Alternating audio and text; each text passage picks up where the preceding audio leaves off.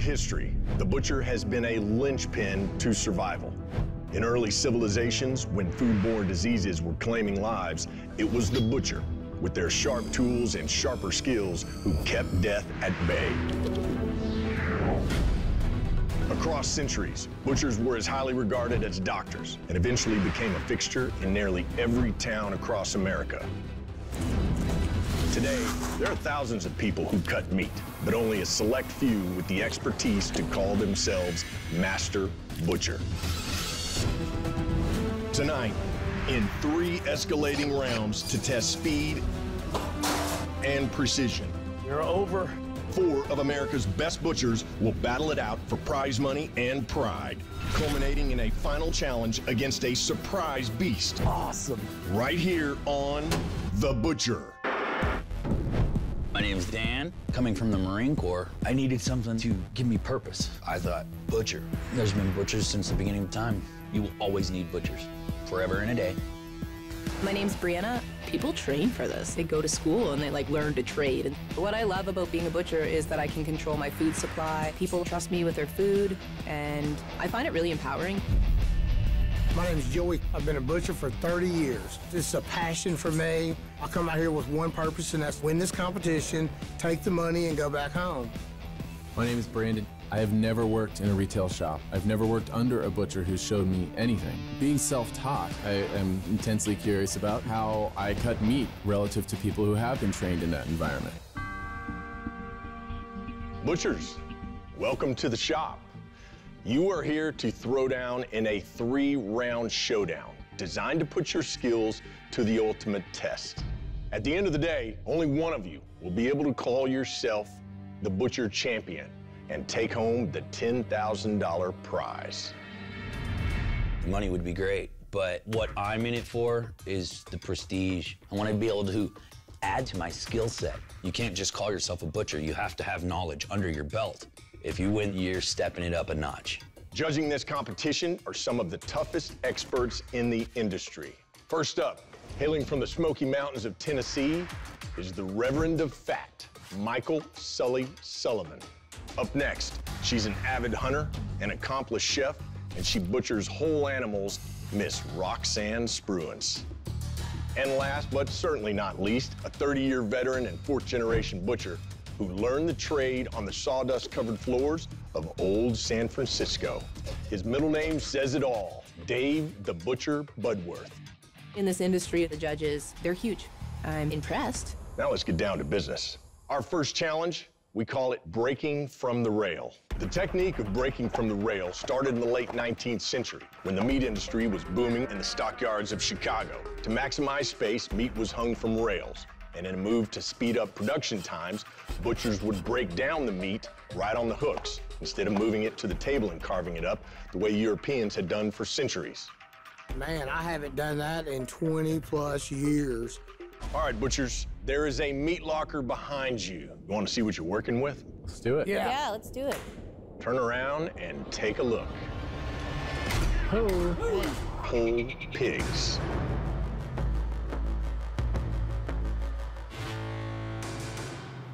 Working from the rail, you need to split it in half, then break it down into four sections you butchers call primals the shoulder, loin, belly, and leg. You will then cut those primals into as many retail cuts as possible. But know this any cuts that do not meet the judges' standards will be rejected. The three butchers that yield the most cuts will move on to round two. You will have 60 minutes for this challenge. To make this interesting, we're going old school. Yeah. You will be using one of the oldest tools known to butchers. This two-handed meat cleaver, also known as a splitter. Oh, hope it's sharp. I've never worked with one of those. I work with cleavers in the shop, but nothing as gargantuan. I hope I can handle that thing. Man's use of the cleaver dates back to the Stone Ages, when they were fashioned from deer antlers. The tool didn't take on its modern form until the Middle Ages, when steel became widely used for bladed tools throughout Europe.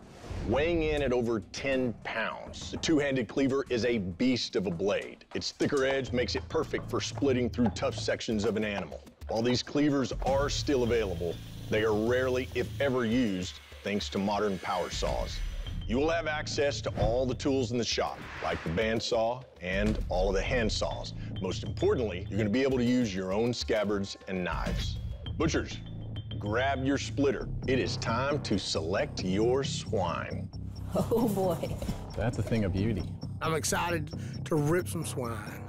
Normally, you would get your pig split on a bandsaw right down the spine so that it's perfectly even. We're giving them a bit of a challenge. It's hanging, it's gonna move around. They're gonna have to hit it spot on along the spine because if they go off on one angle, they're gonna cut into that precious meat.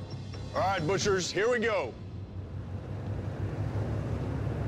Three, two, one, My strategy is to move directly down the spine. Yeah, it's just pumping that spine. Based on the fact that we're working on a time restraint, I'm cutting just as fast and frantically as I can. Joey's losing pieces of the pig because he's trying to go too far through. Look at that loin that's coming right out. When you look at Brianna, she's putting a lot of power. She's putting too much of her energy in instead of letting this heavy blade do the work for her. She's doing all the work, and that's just gonna make you exhausted. Yep, her arms are gonna be jello. So it looks like Dan is totally through now, guys. Yeah. Yes.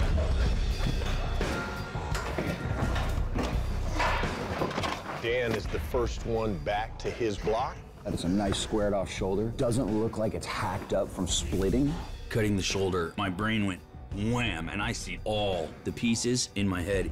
I'm gonna pay attention to the detail. I really want my cuts to impress. A butcher can get seven types of cuts from the shoulder. And today, we are focused on what is known as the Boston butt. Boston butt is a piece from the shoulder, from the neck side of the shoulder that has great fat content. Coming out. Coming out. Brianna, the last one in the cooler. She's awkward with that cleaver. I am mangling this thing. This is embarrassing. She's not that far off. What is Joey doing with his saw right now? I have no idea. It's like a wood saw. Cut down a sapling with. Uh-huh, yeah, right? We brought tools to get the job done. Sure, we have automated tools, but it's about being a true craftsman. I own and operate Clampett's Country Kitchen, the meat market, with my beautiful wife, Lynn. We have a full-service meat market, barbecue restaurant. I'm always keeping safety in mind because this is a very dangerous job. I've got a half a dozen stab wounds, a few nicks with the saw, a few cuts, scars. We got a Boston butt. Boston butt is revered because it has so much marbling in it. You'll find it used for pulled pork, carnitas. That is probably one of my favorite, favorite cuts of meat.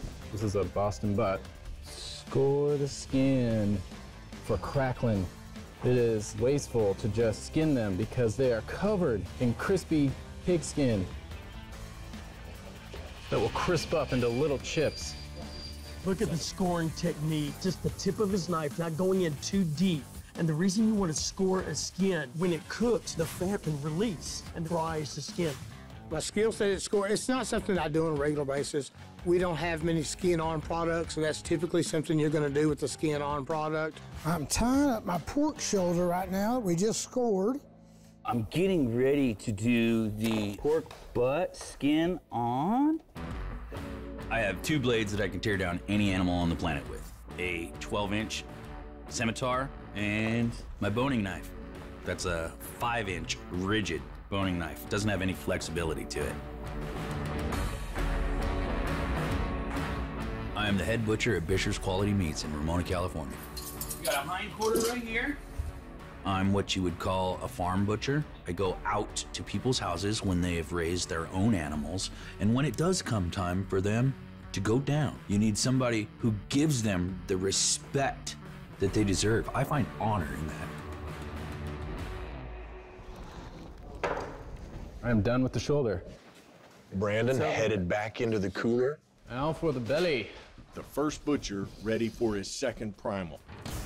A butcher can get three cuts out of the belly. Today, we're focusing on the pork belly and my favorite, bacon.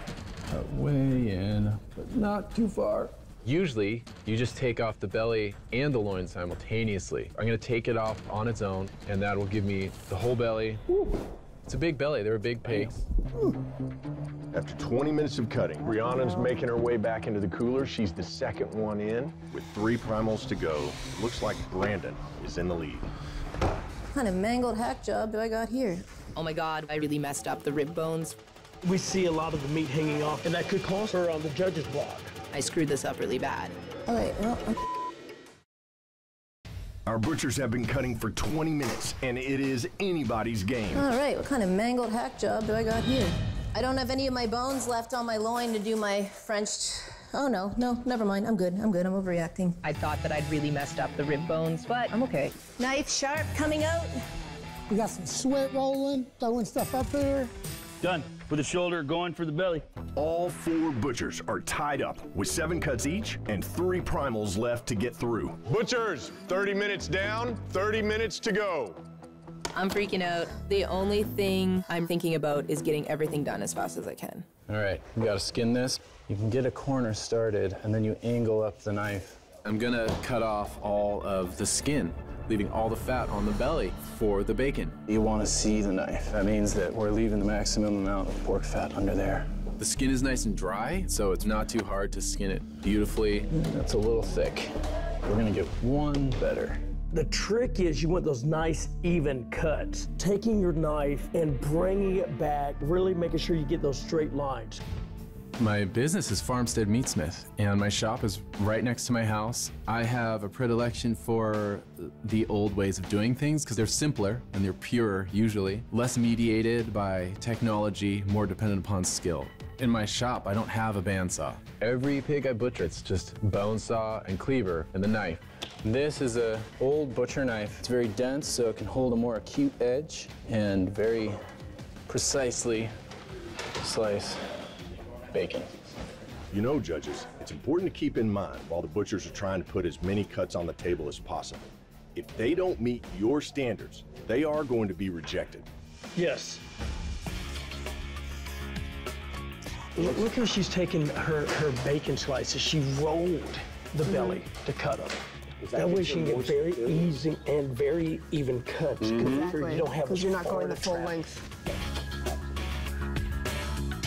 Making bacon. Don't worry about that salt in my sweat. It's helping cure the bacon. You can charge more for that, I think. Yes. Brandon, right now, he's tying up that pork belly. Guys, pork belly's my favorite. I mean, you get that equal parts of like fat and lean. I mean, you can braise it, you can smoke it. Why is the tying important? The main reason is so that it cooks evenly, especially when you have something where there are pieces boned out and you have all these like flaps together to hold it together, to have it all cook evenly is really the ultimate goal.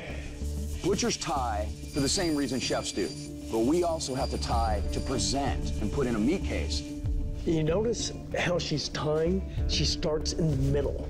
That way it disperses it out evenly. If you look over at Dan's, it goes from small to kind of big because he's started at one end. That's not ideal. Moving on to the loin. A master butcher can get as many as six cuts from the loin. Today, we are paying closest attention to the butterfly chops. This is my loin. It's kind of mangled. Got my tenderloin. That's great. It's time to face the music. I took a big chunk right out of my tenderloin, which is, you know, obviously a big no-no. So now I need to accommodate things a little bit differently. So we're gonna cut that right about here. You know, Brianna, again, that cleaver work. Now you gotta work around some of those mistakes you did when you split the pig. All right. What can I do with this? Butchers, you have 20 minutes left. As he starts to cut his loin, Dan is in the lead. Brianna is not far behind. And Brandon and Joey are both rolling their bellies. Now we're gonna go to the loin. With the loin, it's very easy to get your angle wrong. That's the magic vertebra right there, ladies and gentlemen. Any quadruped can be quartered right there. One vertebra from the crook in the spine in the direction of the head. Boom. Just make sure you grab a hold of something because there's no bone there to hold it. It's just kind of awkward because you need to catch as you're cutting it off. And then we're just gonna pull a little bit. Try not to cut our face off. I got more experience than anybody here and um, more arthritis. My hands are getting really tired. They're really starting to cramp up on me, but that's okay. We're going to fight through it. We got the belly portion done. Going in for the loin. Fixing to get some pork chops. Woo, coming through now. Bam. With the loin primal, I'm gonna use the cleaver. Aim with the heel. That's when you're most accurate. This is my favorite cleaver. I bought an old butcher block, and as we were driving away, the woman that we bought it from came running out with a cleaver in her hand. the cleaver her father used on that block. And she thought that it wasn't right that they should be parted. Happens to be the most functional cleaver that I have and the most meaningful. So here's an interesting thing. Oh, wow. Look how he's trying to chine it. This could get you into trouble real fast. Easily, that cleaver could slip off and go into the meat, but it looks like he's done it before. Brandon, have you used a saw at all yet, guy? No. He's a beast over here, y'all. I'm working on my butterfly chops. Butterflying is not cutting all the way through it. It's cutting three quarters of the way and, And opening it it up. So it's still like one piece of meat. This is not the ideal place to take them from, but because I messed up the, the tenderloin, I'm improvising. The whole point of butterflying is that you're taking one thick piece and making it thinner so that you're able to cook it more quickly and enjoy it that much sooner. Butchers, you have reached the 10 minute mark. I'm not really concerned with what my competitors are doing. I know it's just me versus the clock. If I can buckle down and finish strong, I'm really in this competition. I'm moving to the leg. From the leg primal, you can get about six cuts. Today, the judges are going to pay closest attention to the ham steaks. Ham steaks, bone in. It's a big round piece with a little circle piece of femur bone in it. It's a great economical cut of meat. The clock's ticking. I want really nice ham steaks, but my cuts are getting a little sloppier. I feel crunched. I have to do the leg as fast as possible. All four butchers are on their final primal. We're gonna cut them some damn steaks. It's gonna look like an official Dr. Seuss roast beast. Appearance has gone out the window. We're just trying to get product on the table. I'm just gonna start throwing stuff out. I have to admit, those are beautiful ham steaks. I know.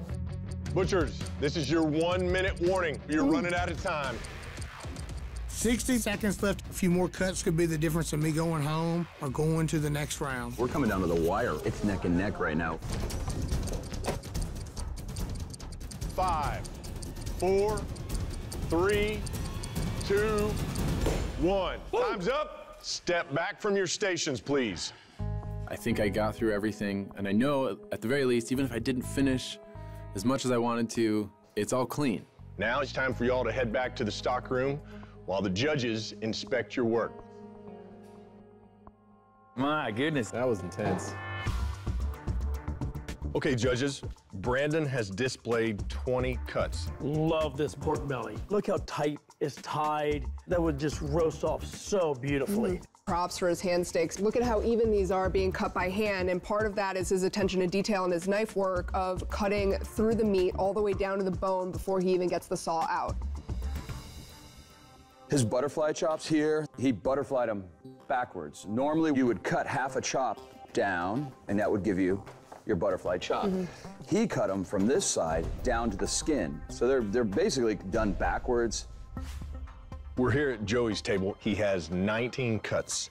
The butterfly work on loin chops are really nice. The bacon, nice even cuts, but the scoring on some of these products is just way too deep. He went all the way through. Ham steak, it almost looks like he started to cut two and end up with one. With the tenderloin, has the hole in it and it's a little torn here. It still could be prepared. It's not the end of the world. We are at Brianna's table. She has 21 cuts here. This tenderloin is really small. Makes me wonder where the rest of that is. The swing hip, right? in the Butt, an awesome part of my tenderloin. Yeah.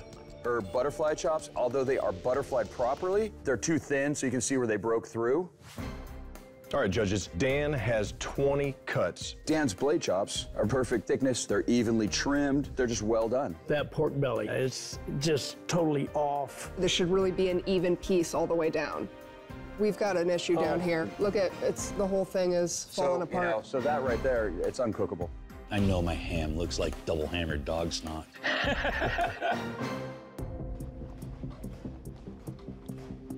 Butchers, you all did great work, but only three of you will move on to the next round. The butcher going home is. Butchers, only three of you we'll move on to the next round. Brandon, after the judges inspected your work, you have a final total of 19 cuts. Brianna, you also have a total of 19 cuts. Congratulations to you both. You are moving on in the competition. You can head back to your block. Thank you. Good job. Good luck, man. Thank you, Brent. Joey and Dan, you both battled hard, but unfortunately, one of you is going home. Dan, after the judges inspected your work, you finished with 17 cuts. Joey, you finished with a grand total of 12 cuts. Congratulations, Dan. You're moving on to the next challenge. You can head back to your block. Joey, we can tell that you're a great butcher. I think time management was kind of your downfall to getting a lot of your clean cuts. I agree. All right, Joey, it is time for you to leave the shop. Sir. Thank you. Thank y'all. Good luck, everybody. See you, Joey. I'm grateful for having the opportunity to compete with such a great caliber of craftsmen. I didn't do as good as I'd like to have done, but it really makes me proud to see this younger generation continuing to carry on this art form that I've made a career out of. Butchers, it is time for the next challenge. We call this one the eyeballer. As all of you know, a true master butcher should be able to cut a piece of meat to the exact ounce before it even hits the scale. Here's the challenge. You're each going to start with a beef short loin. This is where the most desirable cuts of steak come from, like the T-bone and the porterhouse. You must then carefully break it down to a tenderloin, which is the tender muscle that runs along the spine and is used for filet mignon. From there, you must cut a properly cleaned and trimmed filet that is exactly six ounces. But here's the twist. You don't get to see how much your filet weighs. If your filet is over, you'll have the opportunity to go back and correct it. But if it's under, it'll be discarded. In the event that you run out of tenderloin, you're gonna have to go back to the meat locker and cut another one. The first two butchers to deliver five perfect fillets that are exactly six ounces will advance to the next round, where you will go head to head in our final challenge. Ready, set, cut. Sully, how often do butchers eyeball while they're working? It's really that foundational skill for butchery. And- And it's something we perfect from the very beginning of our career to the end. Once you get comfortable to save time, you barely use the scale. My strategy for this challenge is to cut my steaks bigger than what I think they would be and then trim them down a little bit at a time until I'd hit that weight. The tenderloin's a really soft muscle, but you've got to be really careful not to nick it with your knife. Really keep the knife against the bone as they're pulling it away. Once you get it off and you're peeling off that silver skin, it's really easy to gouge into it. Explain what silver skin is. Silver skin is like a tough film of sinew. It's a connective tissue. You can break it down and it gets very gelatinous, but you don't want to eat that. You really want to make sure that it's one clean motion so that you're not kind of nicking into that meat because that's what's going to make your final fillet undesirable. Looks like Dan's up first.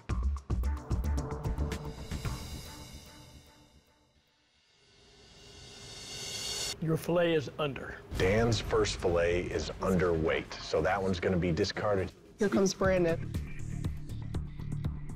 Brandon, your filet is over. This is the one thing that I was worried about. Portioning is a different language for me, and it's not something I do ever. Know what they're doing, man.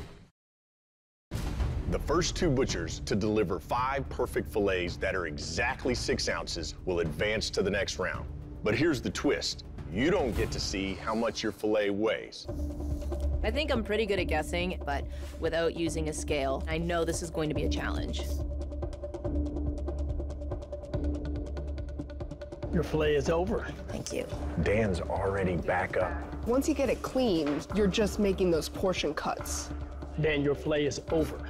I know it ain't gonna happen right off the bat. I just don't wanna go under so I lose it. Your filet is still over. A six ounce fillet is so difficult because it's not like a norm. Eight ounces is more of a butcher Yeah, for me in a shop. butcher shop, it'd be eight to 10 ounces. Trying to find that sweet spot of six ounces, it's a tough challenge.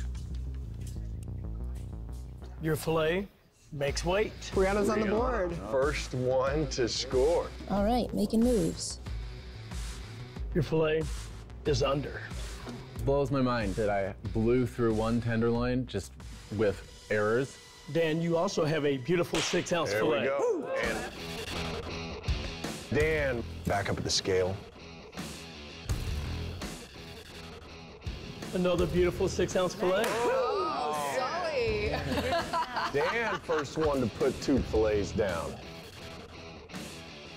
Your fillet is under. I'm really stressed out. I keep being under the weight. I am trying to hit it exact, and the strategy is not working. Has he ever worked in a butcher shop or a restaurant where he does portioning? No, This could be a killer for him. don't do too much. I'm trying to calculate the thickness of the tenderloin, and I am missing it.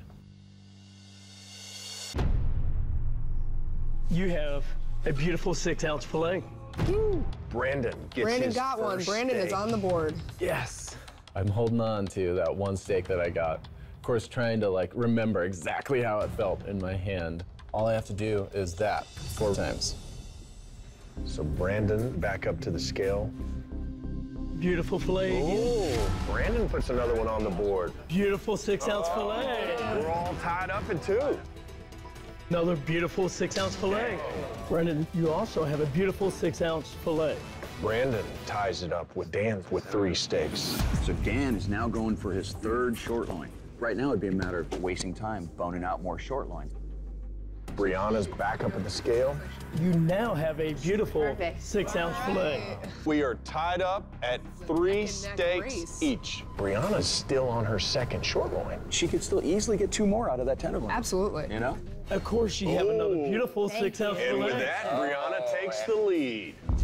Beautiful fillet. Yeah. Okay, Dan ties it up. Brandon's up. You are over. Brandon's over. Is this going to be the fillet that wins it for Brianna? So I'm going up with what I'm hoping is my last piece. If that steak is even a little bit too small, I have to go back into the walk-in, get another short loin, break the whole thing down, and I know Daniel is so close. Brianna, you have a beautifully trimmed and presentable Ah, thank six ounce fillet. Oh, first one. Great job, Brianna. And with that, Brianna moves on in the competition. Slow and steady. I kept saying to myself, slow and steady is going to win this race. At this point, I am looking for a miracle. Dan goes up. If his is on, I'm done. All I need to do is concentrate on coming in second place. I really wanted to make sure that I beat Brandon out. He's my big worry.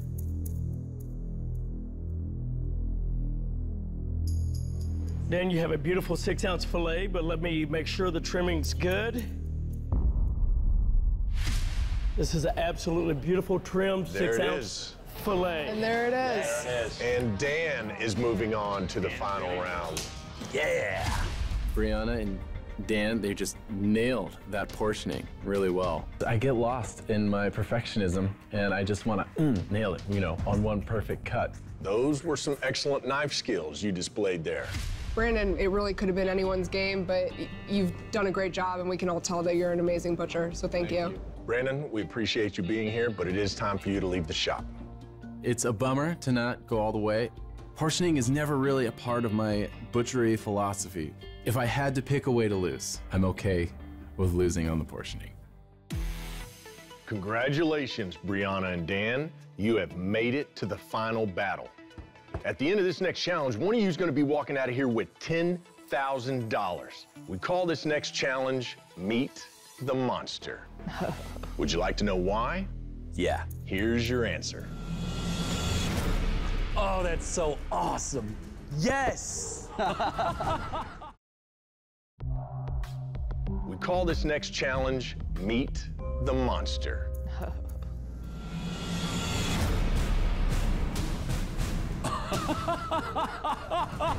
yeah! When I see this gator, immediately I shove beef, pork, lamb, and everything out of my head. I am in game animal zone. No gators where I'm from. I live in Canada, eaten alligator two times. This is gonna be badass. With 80 canine teeth and a bite force of 300 pounds per square inch, the alligator is more than a fierce apex predator lurking in America's marshes, wetlands, and swamps. It's also a popular source of sustenance and has been since the 1600s when the Choctaw tribe hunted them in Mississippi. Choctaws believe that gators possess great wisdom, and legend tells that if a hunter treated an alligator with respect, it would bestow this wisdom on the hunter, giving him great success. Gator meat can sell for an average of $8 per pound, but in the hands of a skilled butcher, more than $20 a pound. You guys know the cornerstone of this business is to get the most value out of the meat with as little waste as possible. For this challenge, each of you will have a gator, and using your skills as a master butcher, yield as much meat from the carcass as you can and turn it into quality retail cuts. The gator, wholly intact, is worth $675, but a master butcher could extract up to a thousand bucks in value cuts. The judges will weigh the worthy pieces, and then they'll come up with a total dollar value of your yield. The butcher, who has the highest overall value, is gonna win it all. You have 90 minutes. I have never butchered a gator. I don't even know how people eat this thing. Like, I know stew, sausage, that's it. All right, boys, bring out the gators. oh boy. This is where your training as a butcher is gonna come in, looking at the anatomy and really letting the animal speak to you. Ready, set, cut! These guys have never broke down an alligator before. They're trying to figure out what they're dealing with. What mammal or animal have they butchered in the past that they automatically relate to? First thing I do is just kind of feel over it and see what I'm working with and what's happening. Alligator's kind of like a cross between a fish and a mammal. First time I cut a gator, I really had to bring my knowledge from working in a fish house, my knowledge of breaking lamb, of breaking beef, and figure out where the muscle groups are and what looks like a money cut. Trying to figure out what can I do with it to elevate my value. I'm thinking all animals have a fillet. I know that they're excellent money pieces. That's my main focus to get off of this gator first. This is probably the craziest thing I've ever done in my entire life. Jelly roll, cheeks, the rest of the tail meat are your money makers right there. The jelly roll is same as a filet mignon. It's the most valuable piece. Normally we call it a tenderloin, but in a gator we actually call it a jelly roll. It's kind of hidden within that tail, right up underneath. And it's the most tender, most prized cut on an alligator. I'm just pulling a big, beautiful chunk off the tail. Look at Dan, how he's making sure that knife is right on that backbone. See that getting as much yield as possible. That is a beautiful technique. That's some alligator meat. That could be the jelly roll. Yeah. When he took it off, he didn't separate the two muscles. That could be part of his jelly roll with that back strap still on it. Yeah. Brianna's working on her tail too. When you're butchering, you can use your hand to pave the way and kind of separate where you want your knife to go. And it looks like she might be finding the jelly. That's something. She just set it to the side. I don't think she even understands the value of it. What would you do with it? If she would have cut steaks out of it, I mean, it's tender. So preserving that is paramount in this challenge. Absolutely. Butchers, 75 minutes remaining. Yeah, now I'm getting through this. They're going to judge us on yields, so I want to save everything that I possibly can. He's literally going in between each feather bone. Almost maybe too meticulous mm-hmm. here. Is that a time management problem? Kind of my strategy is go for the meatiest cuts first, because we're go- going by weight here. Brianna's now working on the jowls, and I mean, that is a massive chunk of meat up there. Most people think, oh my gosh, it's gonna be tough. It's actually the second most tender part of an alligator. It's really sweet. Using just the tip of my knife here, just feeling it out and kind of hugging the bone really served me well. I really like both of their techniques. Look at her do that knife. Those little small jab, very much control. And this is a great example of seam work right here, just following that muscle. Butchers, we are 30 minutes in. Faster. Ah, come on, big boy. A typical way to tell if meat is tender is you kind of give it a poke with your finger. Well, this looks like I'm on the right track. This is their third challenge of the day. You know fatigue is setting in. The time is coming down, and we haven't seen one finished cut. Dan, first one to bring some Oh, meat down go. to his presentation table. Oh, look how he forms it. That's beautiful. All right, let's start actually doing something here. Two totally different strategies. Dan has already brought a lot of his meat down. Brianna's still got all of hers staged up there. I was hoping to get all the muscles off in a certain time period. I did it in about 50 minutes. I was hoping it would take a little bit less time, and now I'm left with about 40 minutes to create my presentation. What is Dan tying up over there? Is that the jelly roll or is that part of the backstrap? The jelly roll and the backstrap are together. It devalues it, absolutely. The way I do my retail is big cuts, and then we can always shrink them down. We got a leg roast. Brianna is starting to place on her presentation table. Jelly rolls, mm-hmm. she's just put out there whole. Cut it into steaks and you're gonna get much more money for it. That's an awfully large retail uh-huh. cut. What's our time? 30 minutes left. Roger that. If I was Brianna right now, I'd really be feeling the pressure. Absolutely. Freaking out.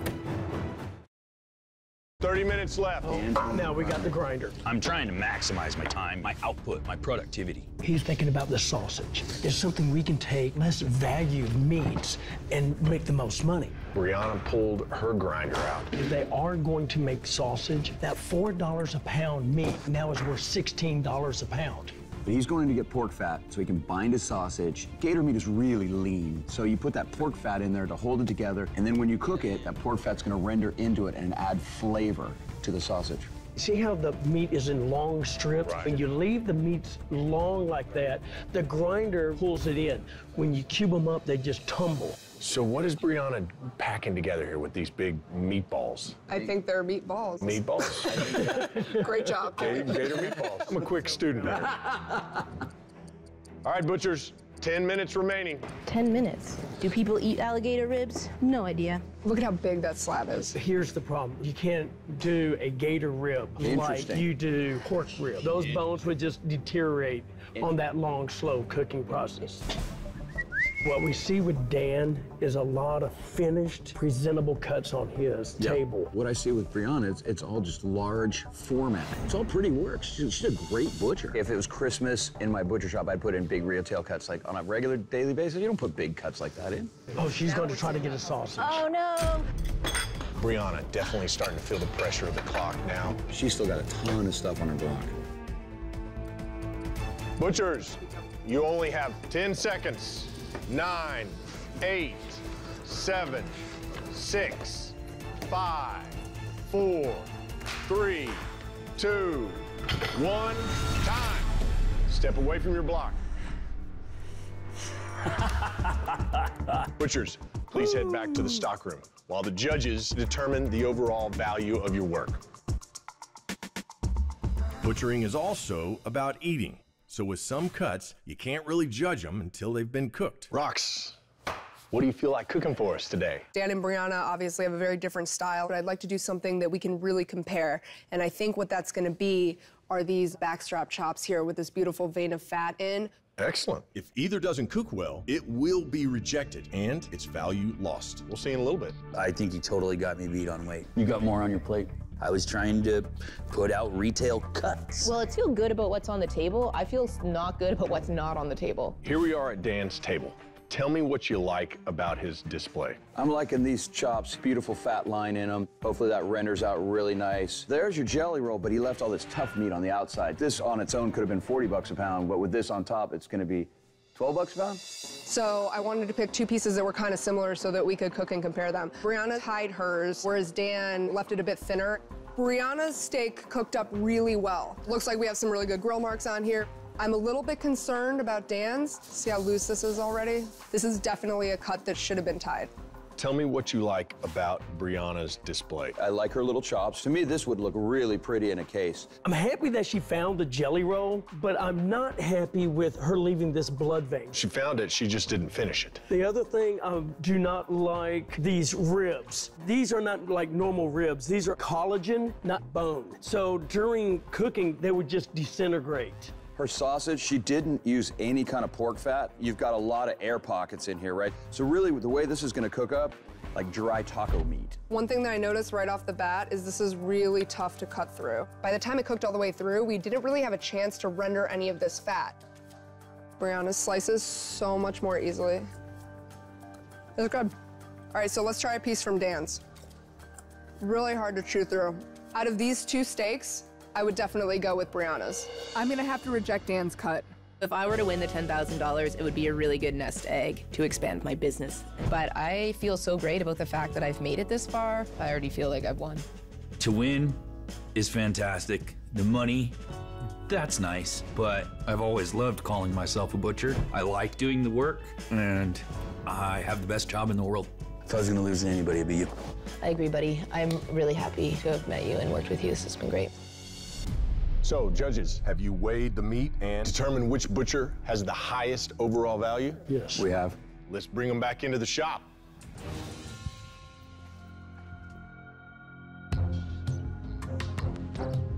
Brianna, even though you have never butchered a gator before, you handled it like you were in your own shop and yielded a lot of meat. Thank you.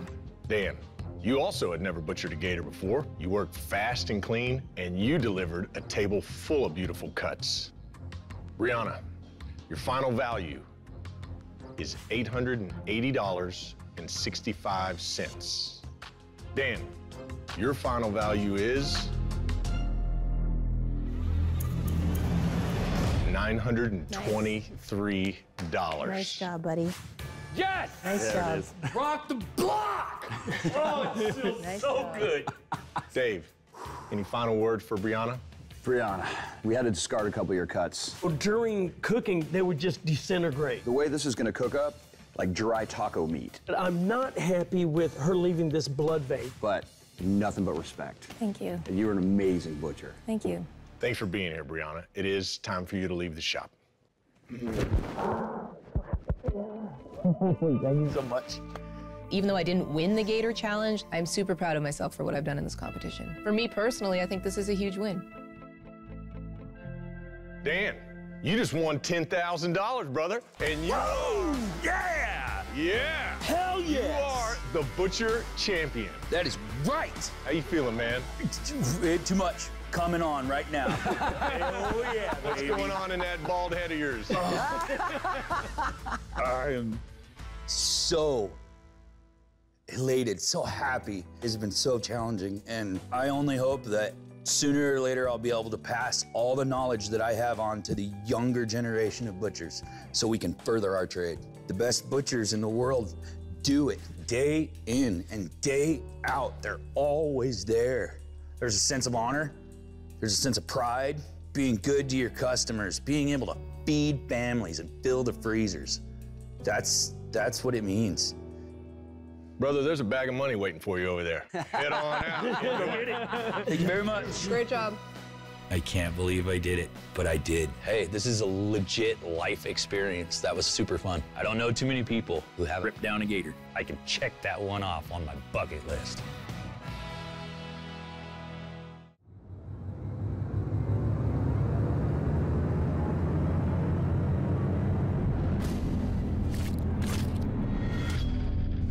History, the butcher has been a linchpin to survival.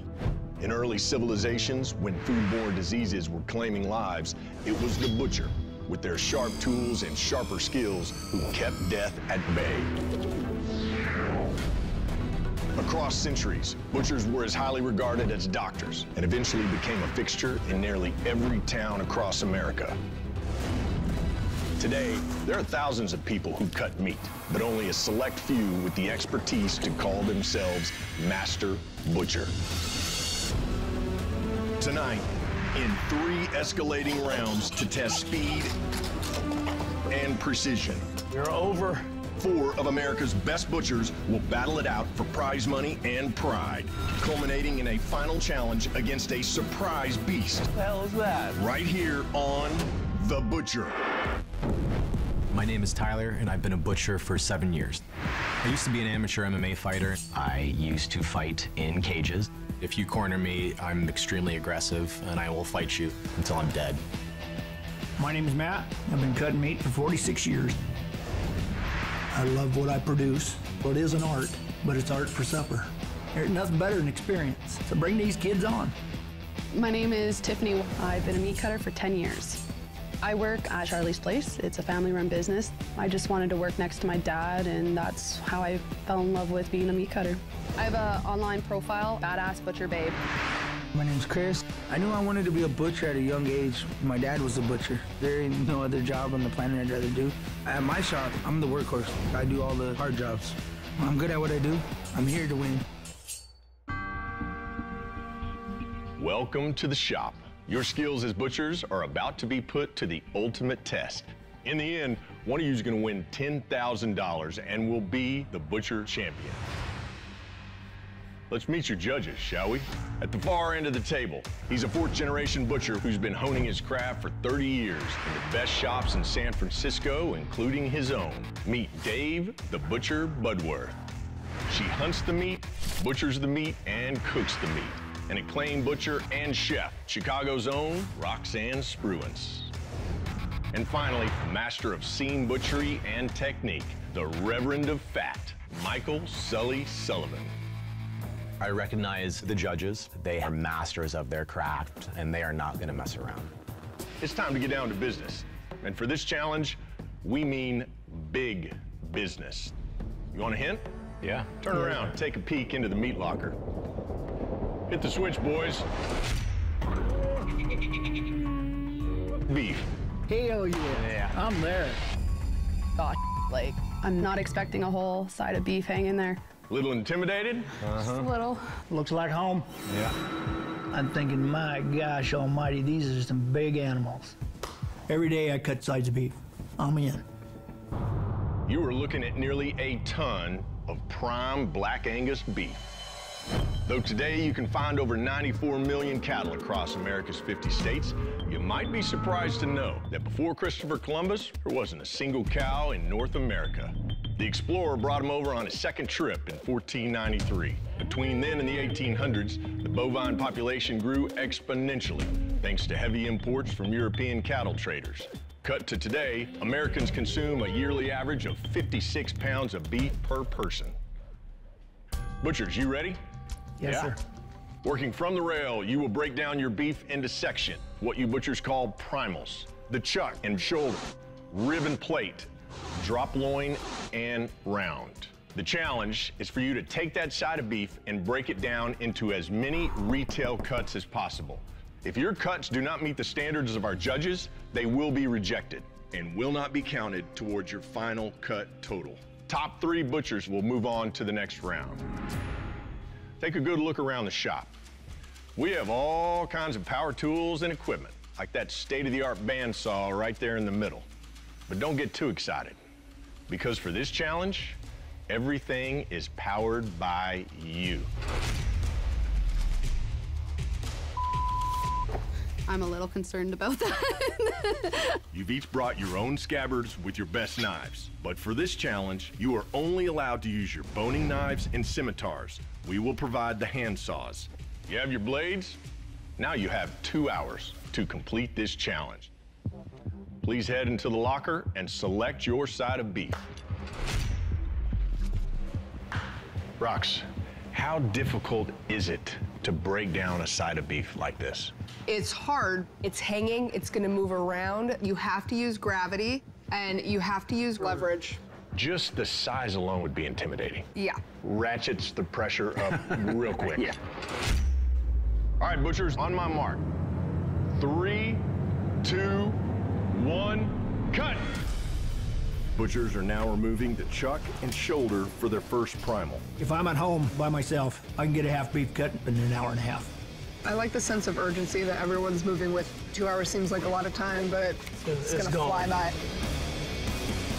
By. Tiffany's struggling a little bit. She is way too low.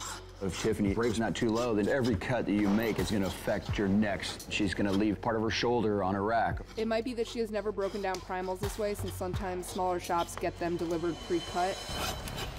Chris is already using the saw here. Mm-hmm. Breaking beef with a handsaw is tough. To have a bandsaw would be great. So that's going to be a bit of a challenge. Here it goes. So Tyler, first one out of the meat locker with his first primal. For me, this is taking something large, making it smaller. I believe in an assembly line process. You break and then you clean. I do like Tyler's technique, getting all those submuscle groups out, getting that bulk out of your way. Then you can come back and working one thing at a time, clearing off that table. As many as nine types of cuts come from the chuck and shoulder. And today, we are focused on the flat iron steak.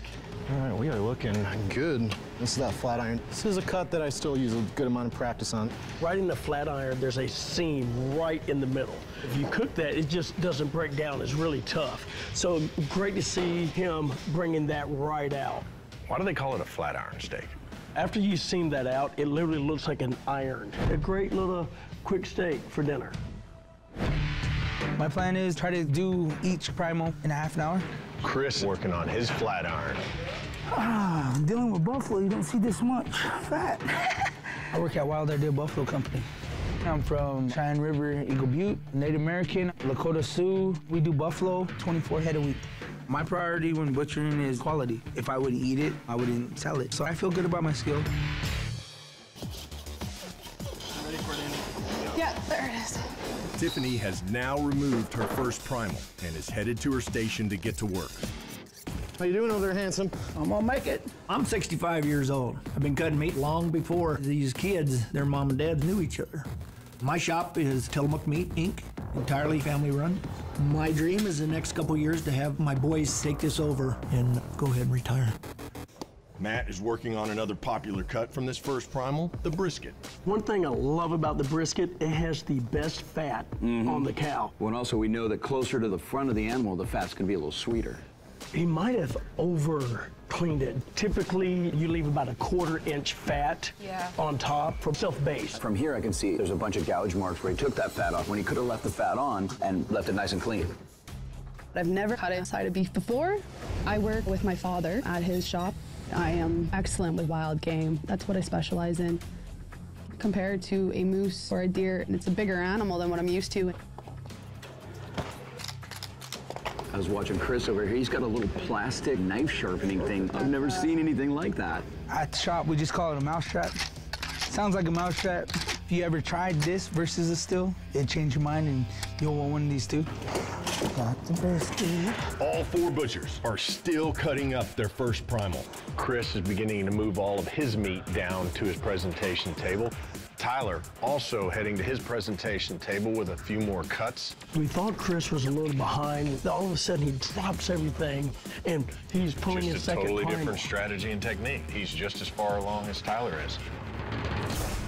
Tiffany certainly hasn't gotten in a rhythm, and to me, just doesn't feel at home with this challenge. Tyler sets his second primal down. At the same time, Chris moving on to his second primal. 30 minutes down, Bushers. Hour and a half left. Completely lost here. 30 minutes down, Bushers. Hour and a half left. Tiffany seems uncomfortable. Yeah, she's got good knife skills, but I feel like she's just unfamiliar with this kind of an animal. She's much more comfortable with elk and things of that nature. So I think once she gets past this and she moves to more like rib drop loin, she's really gonna shine. Tyler currently in the lead with nine cuts. Tiffany has two cuts. Tiffany is still on her first primal, while Tyler, Chris, and Matt are on their second. The second primal is the ribbon plate. A skilled butcher can get at least three cuts from this primal. And today, we are focused on what is known as the standing rib roast. How's all my kids doing? Feeling pretty good over here. I got a nice sweat going. How you feeling over there? I'm gonna make it. Yeah, I know you're gonna make it. Tyler now has a standing rib roast. King of all roasts. Traditional Christmas roast with those seven bones on it. Basically, it's a giant ribeye. Look how he's trying to chine it. This is a move that would typically been on the bandsaw. It's hard to keep a straight line. He's actually doing a great job with it. Absolutely. So I've successfully chined the rib roast my first time through, and I'm ecstatic. This little bone scraper gets some of that mix of fat and bone out of there. You don't want to crack your tooth. I am the head butcher at Western Daughters Butcher Shop in Denver, Colorado. In my late 20s, I was starting to fall apart. I was having issues with alcohol and with drugs. Once I started butchering, gave me a home and it gave me a solid foundation. This is my standing rib roast. You know, judges, it's important to keep in mind while the butchers are trying to put as many cuts as possible on the table, if they don't meet your standards, they are going to be rejected. Yep. Matt's using the handsaw to take that spine bone off the back of his rib roast, but he just went too deep and now he's gotten into the eye of the meat with his oh. saw. You're basically just made a butterfly ribeye. You're gonna lose money on that. It's also, it's not gonna cook properly. Matt has just completely destroyed his rib roast. Tiffany moving on to her second primal. She might be able to catch up. The knives that I'm working with, these guys here, have a special meaning to me. These were Tim's. He was a fellow meat cutter that taught me a lot that I know. He uh, passed away last year. So I'm here and following his footsteps. Tyler is way ahead with 12 cuts and now getting to his third primal. The drop loin contains some of the most tender cuts, and a butcher can get as many as nine. Today, the judges are focused on the tri-tip and T-bone. Tri-tip is this great cut that does look like the Star Trek logo. If you don't know to look for it, you will cut right through it. There's that seam there. It is right there. Hopefully I didn't cut into that tri-tip too much. I think I got it a little too much. I make an incorrect cut, don't follow the right seam, and now I've basically ruined my tri-tip. Son of a bitch. So I am a little frustrated. Matt manhandling that drop loin, throwing it over, flipping it over. Going in for his tri-tip now. The judge is going to love my tri-tip. I cook hundreds of these monthly. It'll be the best one on the table. The worst injury I've ever had in this business would probably be that I cut a finger off on a saw.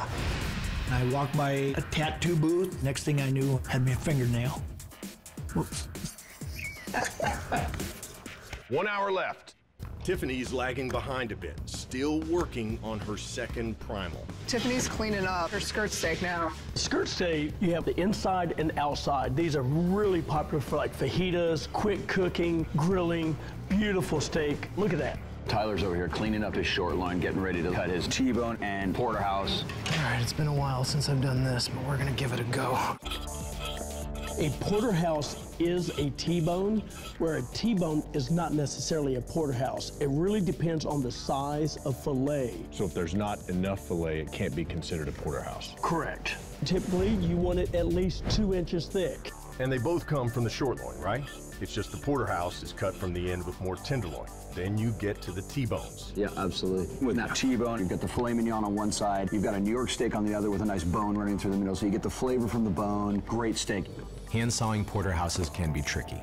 Getting the right thickness and having them be consistent is not as easy as it looks. Too thick. Let's see if we can't maybe make another one. There is only a certain amount left on this short loin for correct porterhouses, so at this point I have to be 100% accurate going forward. There we go. That's borderline porterhouse right there. 30 minutes, butchers. Only 30 minutes remaining.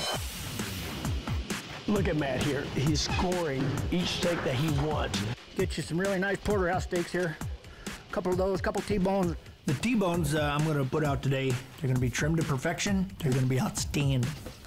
This is the move right here with Matt that you want a bandsaw for it. That's, Yeah, a, that's absolutely. a tough cut to do. Chris is almost finished with that third primal. Throwing some big old steaks down there. That T-bone. That's Colby's lunch. Yeah, I'll take it. I'll take it. Now for the big boy. Tyler is now way ahead of the pack and moving on to his final primal. The round is the final primal, with the butchers cutting the steamship roast. Ooh, this is one of my favorites right here. Sully, tell me about the steamship. The steamship really gets its name from the cruise lines. You're walking up to a buffet line, this beautiful piece of meat. It was meant to feed a lot of people. It was an inexpensive cut, a lot of flavor. Look at that. Beautiful work. 15 minutes, butchers. She might be able to get some good stuff out of there because it's similar to game. But still going after. it. Mm-hmm. She's not giving up. Matt is now moving on to his round. Calling it, guys. I'm gonna keep messing with it. I am done. Tyler is our first butcher to finish. I'm looking at Tyler's table over there. I don't see the T-bone. Ah. What is that on the cart behind Tyler? It looks like he left a T-bone or two back there. Oh, Uh, Very critical. He just lost two steaks. A lot of value. A lot of value. What is Matt doing to his steamship? He's almost over trimming. He's been over trimming, in my opinion. He's been trimming fat all day long. You can't get that flavor back. Five minutes, guys. You have five minutes left. I wish I had more time and not feel so pressured. Matt is now done. I'm feeling pretty good about the cuts that I put out there today. It is down to Tiffany and Chris. Just a reminder, if these aren't up to spec as retail cuts, it could be anyone's game. Five, four, three, two, one. Time's up. All right, butchers, unfortunately for one of you, this will be your last cut. Please head to the stock room while the judges inspect your work. Here we are at Tyler's presentation table. Tell me what you think about his cuts. I love the flat iron. He's got all the sinew off. Perfect.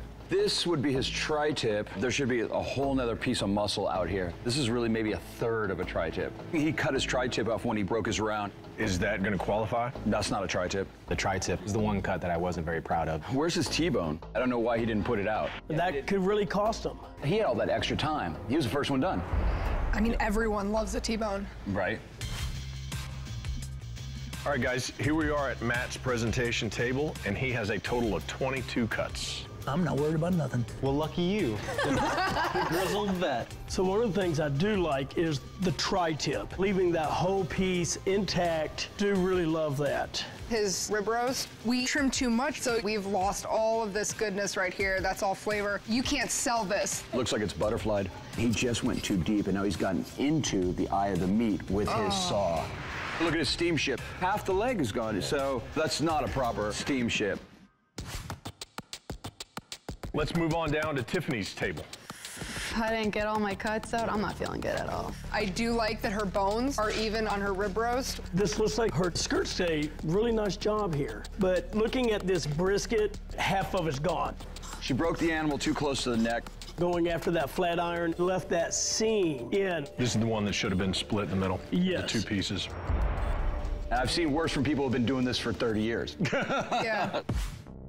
We're at Chris's table. He has a total of 19 cuts. You can really see a difference in the size between your T-bone and your porterhouse. Beautifully done. Look at this brisket. Big gouges. This is not going to cook properly. I could have took more extra time in making sure I did it right. Butchers, you all did great work, but you all had some cuts that were rejected. Only three of you will be moving on to the next round. Butchers, only three of you will move on to the next round.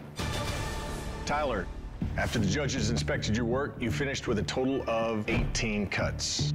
Matt, you had a final count of 17 cuts. Congratulations to you both. You're moving on to the next round. You can head back to your blocks. Tiffany and Chris, it is now down to the two of you. Tiffany, you had a final count of six cuts. Chris, you have a final count of 15 cuts. Congratulations, Chris. You're moving on in the competition. You can head back to your station. Tiffany, I can't even imagine what went through your mind when you saw that. I know that this is something that you've never done before. We can tell that you're a really great butcher just by your knife skills and, and your cut work that you did. I think you should be really proud of yourself. Good job, Tiffany. It is now time for you to leave the shop. Thank you. See you guys. Good luck. I don't know if there is anything I could have done differently. Maybe I could have came up with a game plan more than I did. But other than that, it was definitely fun, but it was intense. Butchers, you are now one step closer to that $10,000 prize. But there are two more challenges to get through if you're gonna bring home the bacon, which is what we're calling this next challenge, because it is all about everybody's favorite food group, bacon. The history of bacon dates back to 1500 BC, when the Chinese started curing pork bellies with salt. Fast forward to America in World War II. Bacon grows in popularity because it's relatively cheap, and when Americans are done cooking it, they give the grease back to their butcher, who then donates the bacon fat for the war effort. You see, bacon grease can be used to help make incendiary devices and explosives. Today, the average American consumes 18 pounds of bacon per year. A true master butcher should be able to cut to order a piece of meat to the correct weight without a scale. For this challenge, you're each going to head into the meat locker and get a bacon slab. You will race against each other to cut one pound orders of bacon. You're gonna bring it up to Sully, who's gonna weigh it for you. But here's the thing, you don't get to see how much it weighs. If you're over, you'll be able to make trims and try again. But if you're under, it'll be rejected and you have to start over from scratch. Sully's also going to be checking your cuts for quality. You have to cut a total of three one pound orders. But here's the twist two of your orders need to be cut by hand. The third order you got to use that hand crank flywheel slicer right behind you. Hand crank? Only Matt's old enough to be knowing how to do that. I never ever seen one of them. The first two butchers who successfully cut all three bacon orders will advance to the final round. Very confident with my ability to do one pound hand cuts. It's something I do regularly at work. Let's do this. Ready, set, cut. What is going to be the most difficult aspect of this challenge? Using these flywheel slicers is not something you're gonna find in a normal butcher shop. I think it's gonna throw them. And cutting that bacon to order and getting those one pounds, that's gonna be tough. Tyler and Chris making their way to the slicers. Matt opting to hand slice. This is interesting. Matt's just cutting a bunch. That way, he's gonna go up and see if it weighs, and then if he's off, then he's already got some cut. Chris over here, he's got his whole slab. See how it's hanging off the edge? That's creating tension and weight, pulling it away from the blade. I have a feeling it's gonna mess up his accuracy. Matt's gonna be the first one up to Sully, it looks like. But Tyler making up some ground. And now Chris is back at the block with his first. And Tyler has just passed Matt. He will be the first one up to Sully. Tyler, your slices are under. Those slices will be rejected. He's got to start over. Matt is up with Sully right now, getting his first attempt weighed. Your slices are over. Chris is waiting right behind him. Your slices are under. I got experience breaking down animals and boning out stuff, but I ain't comfortable. I'm nervous. The first two butchers who successfully cut all three bacon orders to the correct weight without a scale will advance to the final round. You have to cut a total of three one pound orders. Two of your orders need to be cut by hand. The third order, you got to use that hand crank flywheel slicer. My first pound, I was over. That's great, because if you're under, you got to cut more. So I peeled off a couple and cut two more as close to the other ones as possible and took it back. Beautiful one pound sliced bacon. Thanks, sir. Nicely done. Matt, first one to score. He has done this before. I didn't think anybody had a chance and you know where to get me on the hand cuts. It's so second nature. Tyler's back up. Beautiful one pound sliced oh, bacon. Thank you, there it is. I like that. Come on. And now Tyler can just focus on his cuts by hand. Chris is back up visiting Sully. Chris, you are under. So Chris is going back to the slicer for a third time and still not on the board. It's not as easy as you think. With the pressure on and people running up, it gets in your head.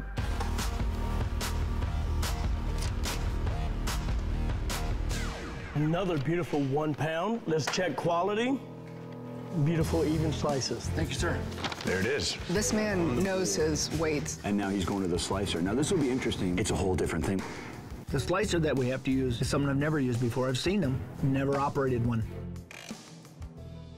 I do need to speed up. So I changed my technique. I was doing a more classic slicing and then I changed to a pistol grip. Interesting technique. I just don't know how he's slicing with just the tip. I have less contact with the blade on the meat and I'm basically pulling straight through. It does take practice, but after time you will create straight cuts. Chris is back up. I was choosing to go to the slicer because I thought it'd be easier, but I'm halfway through my bacon and I don't got one pound up there. Chris, you have a beautiful one pound slices of bacon. There it is. Chris on the board. On the board. Chris right. scores right, his first pound of bacon. And now he just has his hand cuts left. I finally got my one. I can do this now. Tyler's back up at Sully's station. Come on, Sully. We're over. I'll be right back. I believe that it's faster to shave these cuts and trimming them down until I hit it right on the money. Tyler already back up to the scale. One pound beautifully eight Hell sliced yeah. bacon. yeah. You're gonna get another one too. Tyler evens things up with Chris right behind him with one pound. Matt is back up at Sully. If this is a pound, this competition's over. You're still over. This is like playing poker, over and under and over and under. Knowing that I'm over, I went with a vertical cut, the length of the bacon, laid it in there, brought another full slice over the top. No muss, no fuss, looks perfect. Man, that's prettier than Oscar Myers. Can he do it with this? You have one pound of beautifully sliced. There it is. bacon. Oh, Matt, our first butcher, to move on to the finals. Love my bacon. I didn't want to give up, but I was nervous. I was just trying to hurry up and slice it and go back up there. Chris, this is one pound of bacon, but we sliced through our paper. The presentation is unacceptable. Oh, So throwing the hammer down. Ah, I should have took it off the paper and cut it. Man, you gotta be kidding me. Oh, come on. Tyler just needs one more pound. Chris, gonna have to pick up the pace. He needs two pounds. Come on, easy. That was a little bigger than I wanted it to be.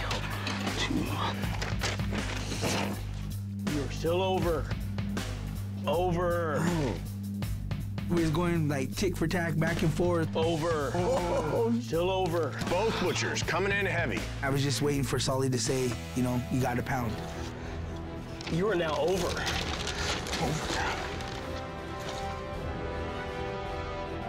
this is a pound, this competition's over. You have eight beautiful slices of bacon that reaches one pound. There it is. Beautiful. Tyler moving on to the final round. Well played, all three. Good job, youngster. You gotta give Chris credit. He was hustling that. I lost bacon. I think I'm gonna be a sausage man now. I ain't gonna eat bacon for a while. That was intense. Chris, I can tell you're a skilled and passionate butcher. This challenge is really a mind screwer. That would have gotten my head so hard. It did, it did. I wish you all the best. Thank you. Chris, it is time for you to leave the shop. Going home, probably go back and get a bunch of bacon under my belt so then I can come back and do this competition again. Well, isn't this interesting? New school versus old school. You're both probably wondering what animal is hiding behind this curtain. It is time to meet the invaders. The hell is that? Well, you're both probably wondering about now what animal is hiding behind this curtain. It is time to meet the invaders.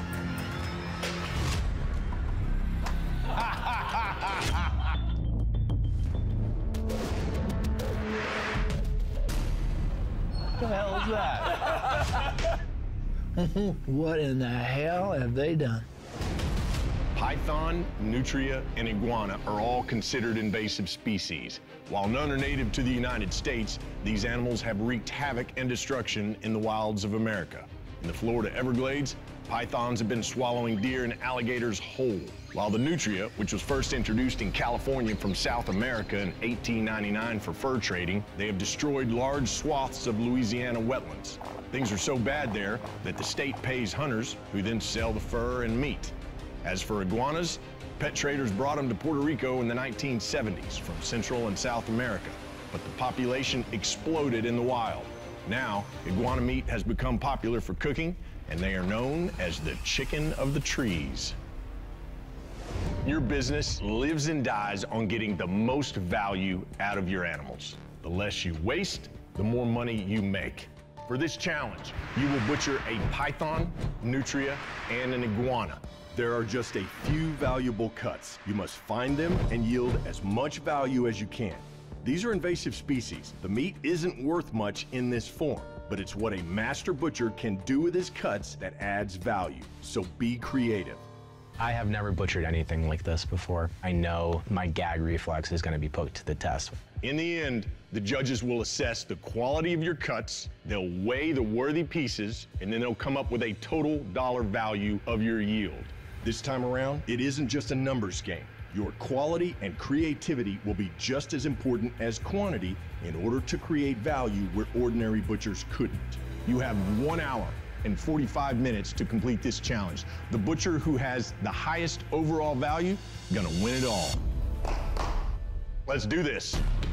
Ready, set, cut! What are the keys to getting a good yield from that python? Being very careful, skinning it, making sure you don't damage any of that meat. And then when you're breaking that down, keeping that knife really close to those bones and trying to peel off as much meat as you can. Matt has started around the neck, so it'll come off whole, whereas Tyler is starting to field dress it first. Strategy on this python is to get the hide off as fast as I can, get him gutted, and get him to my table. Oh, just sprayed me in the face. Gross. Matt's using every square inch of the meat locker, backing himself into the corner, trying to pull the last bit of skin off the tail. I look over at Matt. I'm gonna take this technique from him and I'm gonna beat him. Tyler using the same technique to finish skinning his 10 foot python. And it's off. Woo! Tyler actually has a tattoo of a badger fighting a cobra. the meaning of that is to remind me to be the badger and not the cobra. The cobra is my weaknesses. He is literally fighting a snake right now. Snakes are one of the few animals you actually skin first and then cut back and gut to keep that nice tight shape, pulling that skin off. And you have to be very careful because if you go in too deep, you rupture the inside, which could contaminate your meat. Oh, that smells delicious. Ugh, that's not going to add any value to your table. The Badger Butcher making quick work of his 10 foot python. Oh, that is a bad choice. Now Matt makes his way out of the meat locker. On a snake this big, is the quality of meat the same from head to tail? Yes, it's pretty much the same. I'm gonna be interested to see how creative they're able to get. There's no way I'm gonna be able to fillet a 15 foot python, but a two foot python was almost similar to a sea bass, and I fillet those all the time. I have no idea what I'm doing. So most of the things I'm going to do on this uh, Python is going to be just creative. I'm just going to uh, try to get the most different items. Matt is doing some extremely thin cuts there. I start to fillet the snake. That white surface had to come off because it's too tough. Tyler's having a very difficult time skinning this Mm-hmm. because he's coming at it from the wrong angle. You have to hold it flat, otherwise you'll cut right through the skin and you'll get pieces that you can't use. We are 30 minutes into this challenge. Matt, he's happy with those pieces, laying them down. These are uh, the equivalent of loin fillet steaks. This tail meat, it is a lot tougher than I previously thought it was. I'm just gonna do, it's kind of like braciole. You take your cheaper cuts, tie them up real nice, and do some kind of braise. They still got a nutria and iguana to do. And don't forget they have to skin that nutria. Time management will become a consideration here real quick. Absolutely. Here you go, the medallions right here. So he's got them tied up. This is that creativity that I Yeah. wanted to see. Now that actually looks good to me. Think of the difference of having huge, long pieces of what you can't tell versus something that looks like you could pan fry it. It's a pinwheel Absolutely. and be delicious. Mm-hmm. This python wraps around stuff. So that's where I got the idea. And I made a few knots thinking it might look pretty cool. Matt moving down to his presentation table. Tyler also moving down to his presentation table. As I put my cuts out, out of the corner of my eye, I see that Matt has a tremendous amount of yield. And I decided to go back to my table, round up my trim bucket, and put them onto my stew meat. That stew meat, great example. Just take what I can up, dice it up, just pounds on the table. Absolutely, and I think Tyler would have been on the Nutria if he did not see Matt put up all of that stuff. I don't have time to inspect this meat, so I decided to put it down and just keep going. Matt coming out with animal number two, Nutria, the river rat. I'm gonna look at this nutria like I would a rabbit. Okay, bunny, bunny, bunny. Oh, this thing is nasty. This animal stinks to high hell. The butcher who has the highest overall value, gonna win it all. My gag reflex is gonna be put to the test when I'm butchering this thing. You getting that smell right there? Whew. Nutrias, we have them all over where I live. This is just gonna be like a rabbit. Matt is able to successfully remove the pelt while I'm still making mistakes as I go. What is that? What would you be going for? The hind legs for things that walk with their back legs a lot. That's a great piece of meat. The meat is a little more on the tough side, so I'm gonna make sausage with that. He's going after the back fat. You're making sausage right now? Are you nuts? Just for you. This meat is so lean. If you're gonna make a sausage, you got to have fat to bind it and to give it flavor. How much value does that add? If you turn it into sausage, something that's like prepared, ready to go, you can charge much more for it, you know, upwards $13, $15 a pound. Clock is ticking, butchers. You're down to your last 15 minutes. At this point, I'm really starting to feel the pressure.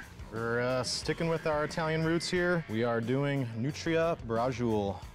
This is a rolled and boned flank. Tyler's definitely not as much volume, but more fine cuts and stuff. Matt's old school butcher shop, two different styles. I wanted to show attention to detail. Matt now with his third and final animal, the iguana. Boy, that hide is tough. It'll be interesting to see their creativity come out. Iguana, I know the tail has meat. It has muscles running along the vertebrae. Its arms and its legs are basically going to be frog legs. They got little bones in here that ain't got no reason to be there. Doesn't really smell bad. It smells kind of good. You're down to your last five minutes. I gotta find out what value cuts I'm gonna get off this thing. There's just not a lot. Matt is trying to get every ounce of that meat. Oh, looks like Tyler just ripped his tail in half trying to skin it. I just did what I shouldn't have done. And I've got a piece of tail and a very large chunk of meat that I need. 10 seconds. Nine, eight, seven. A lot of scraps over here. Six, Five, four. What do you got going on over there? Three, two, one. Time's up. How about that now? Butchers, please head back to the stock room while the judges determine the overall value of your work. Let's take a look at their cuts, shall we? Yep. Absolutely. The toughest part about that python was figuring out is all of that meat the same thing? If it's like a rattlesnake, Yeah. it's all one thing. In the end, butchering is also about eating. In a final twist in this competition, Roxanne will cook two cuts of meat. So, Roxanne, which cuts are you going to put on the grill? When we think about grilling, right, we think about doing things that can cook quickly. So I want to take the nutria loins from each of the guys and see how they cook up. Perfect. If either doesn't cook well, it will be rejected and its value lost. We'll see you in a bit. Okay, sounds good. Have fun. Let's talk about Matt. What do you think of his yield? I really like his rosettes here. It's really pretty, great presentation. This is gonna cook really nice. Absolutely love the sausage. He purposely put it in that small sheep casing. Perfect choice. But looking at his name, skewer meat, is not going to skewer really well. And this dark meat, that's kind of like a blood vein, it's going to be really gamey. I can already tell that Tyler's pieces are cooking up more evenly than Matt's are. This guy is already kind of springy and tough. What you think of Tyler's table here? I do love the attention to detail on these filet portions. Trimmed them up really nice. But on this stew meat, there's still a lot of sinew in here, and there's a bit of bone mm-hmm. right there. On the iguana, I could tell he was having a little trouble with the skinning, but I would like to see a little bit more detail. For instance, these legs. I would have loved to see something creative out of him, separating these, pulling this meat back, making almost like iguana lollipops. Mm. You know, just something fun. We can take less valued meats and make the most money. Tyler's nutria actually cooked up pretty nicely, so let's give it a shot. And then we've got Matt's loin. Tyler's nutria loin definitely has a better tenderness. Matt's is grainier and more sinewy. When he was breaking it down, there was a bit of an issue there with how he cut it. I'm gonna have to reject Matt's cut. I feel really good. Told my wife and kids I'm not coming home if I don't win. Nobody remembers second place. I need to win this competition. I need people to know that my passion for butchery changed my life. I'm happy to have you. Well, you're, you're a good kid. I love you. Judges, have you weighed the meat and determined which butcher has the highest value? We have. Let's bring the butchers back in. Matt, your 46 years of experience really showed and got a lot of meat from those invaders. Tyler, for seven years of experience, you attacked this like somebody with 30 years under your belt. Matt, your final value, $536.07. Tyler, your value, $514.57. Matt, congratulations. Well done. Tyler, Round by round, you showed us what you were made of. But unfortunately, we found some cartilage in some of your stew meat. I saw your eyes look over at Matt, and you went back to that table, and that's what really cost you. It was an honor watching you cut meat. Thank you. Tyler, it is time for you to leave the shop. Thank you. You do need $10,000, but to have the respect of three prolific judges is worth $100,000 to me. Well, congratulations, Matt. You just won $10,000 and you are the Butcher Champion. How you feeling, brother? I've been at this game a long time. It's been a long rodeo. This might be just a little validation for me. There's only so many more miles to the sunset. Matt, you're gonna ride off into the sunset with a bag full of $10,000. I'm happy with that. Congratulations. Thank you, thank you. I really feel good. I feel proud. Can't wait to go home, tell my wife and kids. Me and mom are gonna go on vacation.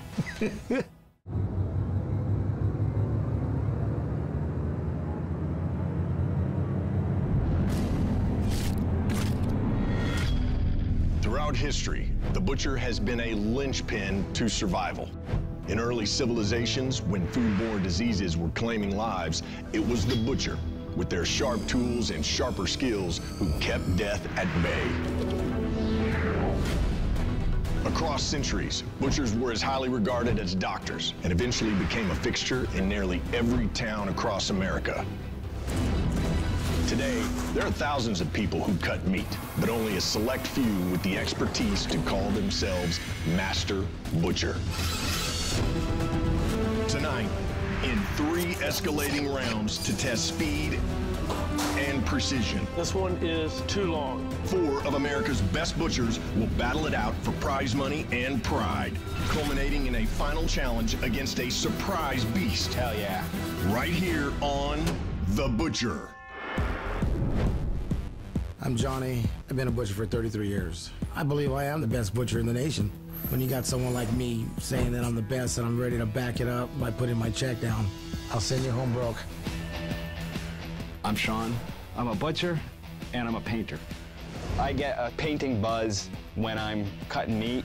I get some sort of creative satisfaction out of that. You know, those are the things that really have made me who I am. My name's Penny. Before becoming a butcher, I was a restaurant chef, and I've been a butcher for 11 years. And I'd been just getting fired up about it, and I'd always loved doing it. I believe strongly, figure out what you're passionate about and go do it, and who cares what anyone says. Go for it. My name's Randy. I'm from Hot Springs, Arkansas. I consider myself a master butcher. I take pride in that. I take pride in being my community's butcher. That's what I live for. It's my life.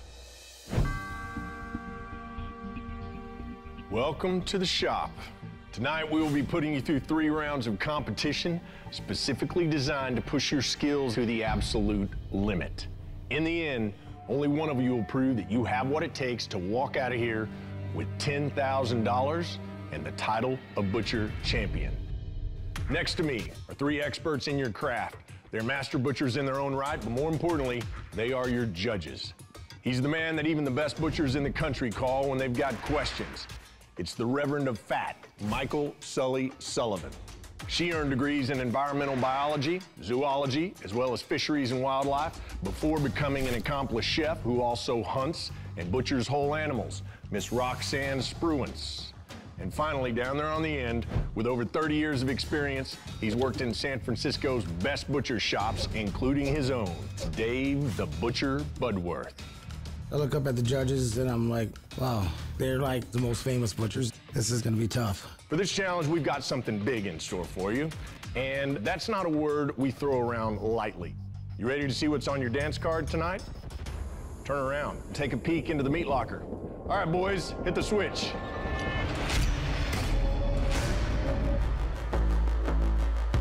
Bison. Yeah. I look into the cooler, and I was just like, holy there's a bison. Weighing upwards of 2,000 pounds, the American bison is the largest land animal in North America. For centuries, they were an important resource for Native Americans who utilized almost every square inch of the animal to make everything from weapons to medication to clothing. But in the 1800s, settlers slaughtered more than 50 million bison and nearly hunted them out of existence.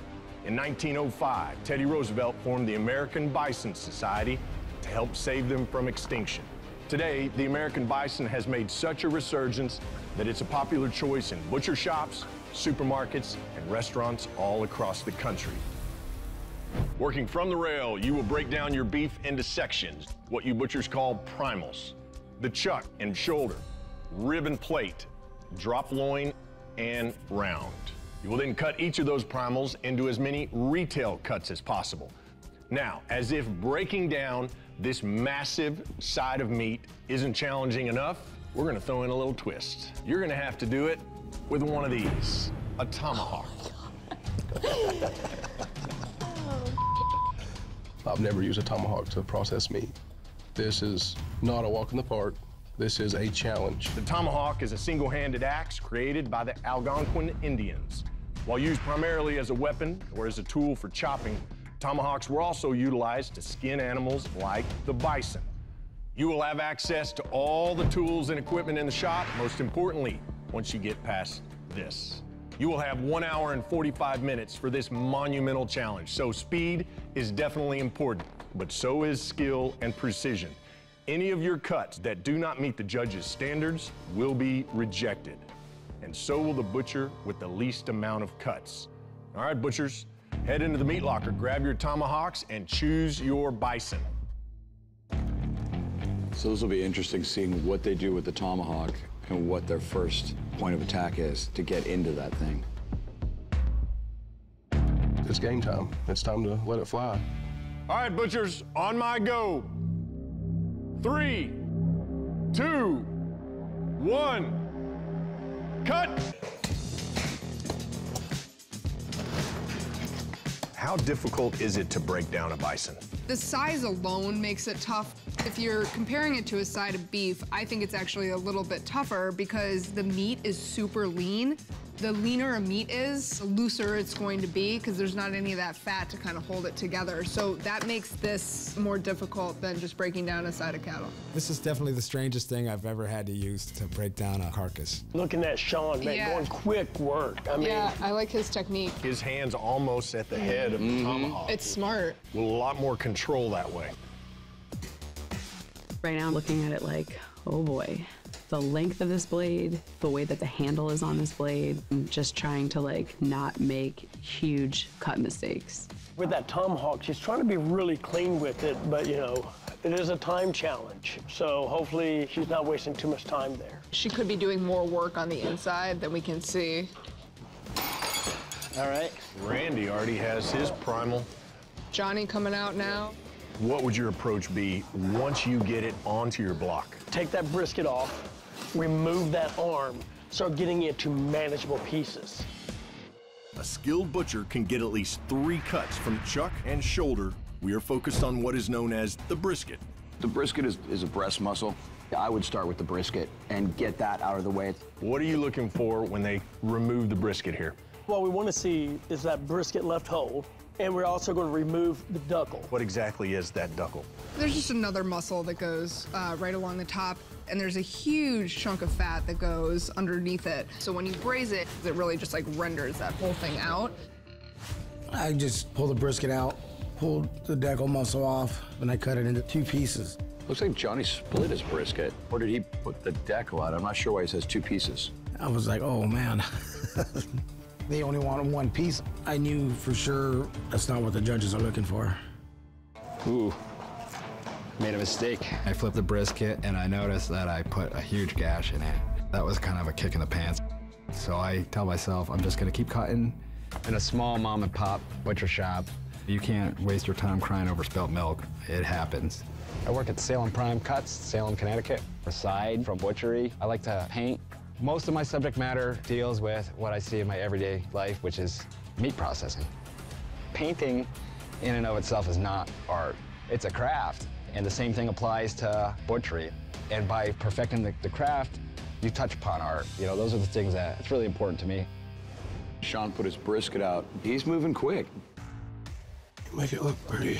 I don't want that on this brisket. I own Griffith's Custom Butchering in Hot Springs, Arkansas. Met my wife, went out to her dad's shop one day, and I started helping him out. And I absolutely fell in love with butchering. I worked alongside my father-in-law for 10 years. Now me and his daughter run the show. Look over here at Randy, look at that brisket. Already got it cleaned off, got the bone off. Beautiful. Yeah, Absolutely nice work. beautiful. Penny is still in the meat locker trying to remove Yeah. that first primal. Penny has broken a little low and is rocking her way through the scapula now. That's unfortunate. No, you're not going to be able to get through that scapula with that tomahawk. Missing that first cut is crucial because you got Mm. so much more you got to cut through to be able to make that separation break. 30 minutes down, butchers. I'm sort of in my head now because everybody else has left the cooler for a long, long time. But I don't give up. You know, the longer she's in there, the more it's going to get in her head how far behind she's getting. I'm not going out like this. All right, Penny, get it, girl. Johnny, Randy, and Sean are moving on to their second primal, while Penny is still working on her first primal. Penny has now removed that shoulder. Okay. I've got the primal on the table, and the first thing I want to do is take the brisket off. I'm just trying to seam it out so that I can get to the cuts that I need. Sean is now working on his second primal. A master butcher should be able to get five cuts from the ribbon plate primal. Today, we are focusing on the tomahawk steaks. Tomahawk is such an iconic cut. Basically a bone-in ribeye, but we leave that bone super long. When you cook it, it's just this neat and pristine white bone. Johnny now working on his second primal. I'm a master butcher in Los Angeles, California. I became a butcher back in 85. I am the first butcher in my family. My daughter's coming up as a second person. Passing along the skills of my daughter is one of the most important parts of my whole life. Butchers, one hour remaining. Look at Sean, scored each bone, that membrane. I mean, I love the technique. If you get right underneath it, pull it off with your hook, it gives you a nice white clean bone. This is my bone and hook that I use for scoring bone skin. That's just a wonderful tool. Now we see Johnny. So he's cutting them right in the middle. So he's, So he's he lost they his will not be tomahawk. tomahawk. Man. Huge mistake. You know, if this was a cow, that would be the size of a tomahawk. That's not what we're looking for. We're looking for bison tomahawks. Issues that I'm having right now with the tomahawk steaks, I'm trying to make the bones clean. Trying to pretty this ugly tomahawk steak up. It's the ugliest one I got. It's harder to clean with the consistency of that bison. Penny's cleaning her brisket, and while it is smaller because of where she broke it, it does look good. I have faith in Penny, guys. I am one of the co-owners of Saucisson. It is an artisan butcher shop in Cleveland. We bring in whole animals from small family farms. We try to really respect the whole thing and make sure that every bit of it gets used because it is a life, and hopefully it had a good one. Butchers, 45 minutes remaining. Penny's thrown her brisket down. One of the most beautiful briskets I've seen today. Penny now gonna head back into the meat locker. She's going for her second primal. Sean, Johnny, and Randy are all tied with four cuts and have finished their second primal, while Penny is in last place with one cut. Sean with his third primal. The drop loin can have as many as five cuts. Today, we're focusing on the tenderloin. But what I'm looking for with that is, does he get that silver skin off without gouging through or losing a lot of meat? Look at how much meat Randy is pulling off while he's cleaning it up. Yeah, I mean, when you're taking that silver skin, you really got to come under it and make nice, even stroking with your knife pointing up to the silver skin and not into the meat. Yeah, we see Johnny cleaning off his tenderloin. That's what you want to see, really tight on that so that you have the most yield for your meat. Randy's over here tying up his tenderloin. Why are tying skills important to a butcher? A lot of times you're tying leaner meat that's kind of flopping around that you want to have it be a little bit tighter, which is going to aid in the cooking process. It looks like he almost just folded it right in half. Which is also unfortunate too, because the whole point of folding it under is so that you have it be an even diameter so Yeah. that it cooks evenly. Yeah, that's not going to cook evenly at all. Penny is struggling to get her second primal of bison. Well, an hour and 45 minutes is a long time. This is a huge animal. I think she's kind of gotten lost. I'm tired. It's taking me a very long time to get this done. Okay, Sean is now working on his final primal, the round. We got five cuts in there. Today, we're focusing on the London broil and the shank. I've got to pull the London broil off of the round to cut some London broil steaks. I need to make these look pretty, but I also have to get them done. Look how much meat he has taken off mm. again. You're losing value, but he squared it off nice. It'll cook up well. Sean is working that shank. This is a thing that we typically we would take and braise long and slow. I'm not worried about what the other competitors are doing. He's like scurrying everywhere. If I start to worry about all of this other distraction, then I'm gonna choke. He's racing against himself right now. I work fast. Boom, crank them out. He does have some pieces that aren't trimmed all the way around, Yeah. and I probably would have gone back through and trimmed a little bit. Butchers, 15 minutes remaining. About 20 years ago, I was cutting pork sticks on a bandsaw. Knocked my finger right off from the center. Cut it all the way down to the last tendon, dangling. My worst injury that I've ever had. Something you remember and see every day. So you always remember what not to do. Penny is now out of the cooler. I finally got the freaking second primal off. It's time to roll, girl. I'm not gonna pay too much attention about time and just get that freaking tomahawk cut. Five minutes remaining, butchers. He's on the saw. My main concern is getting to that bandsaw and slicing these shank steaks, but Johnny's on the bandsaw. I have no choice but to grab my handsaw. Hey, look at him struggling. Johnny's on the saw. True. So, I mean, what's your choice? Yeah. I mean, you got a hand cut. You're, Yeah. you're out of time. Two minutes remaining, butchers. Looks like Penny is uh, cleaning her tomahawk. All right. Looks like Sean Is has done. completed. I'm feeling pretty good because I know I finished the challenge with time to spare.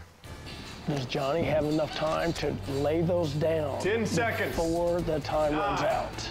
Eight, seven, six, five, four, three, two, one. Time. I'm pissed. I wanted to get my shank steaks finished. Uh, I couldn't. I needed that bandsaw. Great job, butchers. Unfortunately for one of you, this will be your last cut. Remember, any of your cuts that do not meet the judges' standards will be rejected. Please head to the stock room while the judges inspect your work. That was the toughest thing I've probably ever done. A hatchet with a bison. Okay, judges, here we are at Sean's uh, display. Tell me what you think about his cuts. These are just absolutely beautiful tomahawks. I love how clean these bones are, how white this is gonna be when you grill it. The cartilage on here would have preferred a clean bone Yeah. on that, but these are just absolutely beautiful. On his brisket, he pulled the whole thing, but kind of made a bracelet out of it. I wouldn't put that in my case. The hind shanks here, I would have trimmed a little bit more of this off. There's a lot of hair on here still. Next stop, Johnny's table. His shanks, these are going to cook beautiful. He made time to finish these up. This is a nice sized portion, absolutely beautiful. He ended up cutting his brisket in half.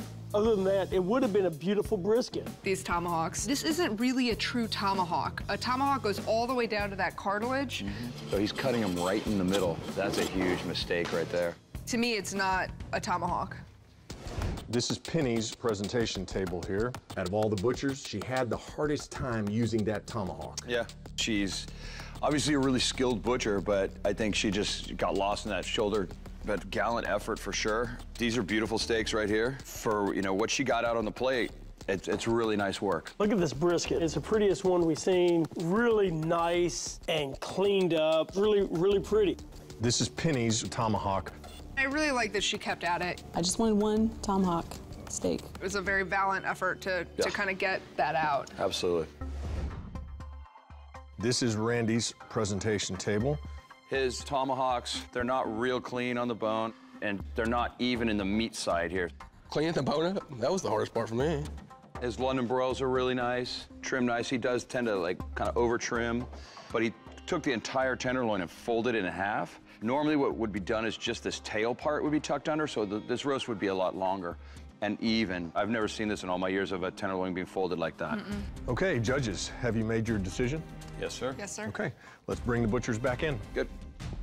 See how it goes. We'll leave it on the table. No hard feelings, right, guys? No? Yeah. Good luck. Good luck, man. Hey, guys.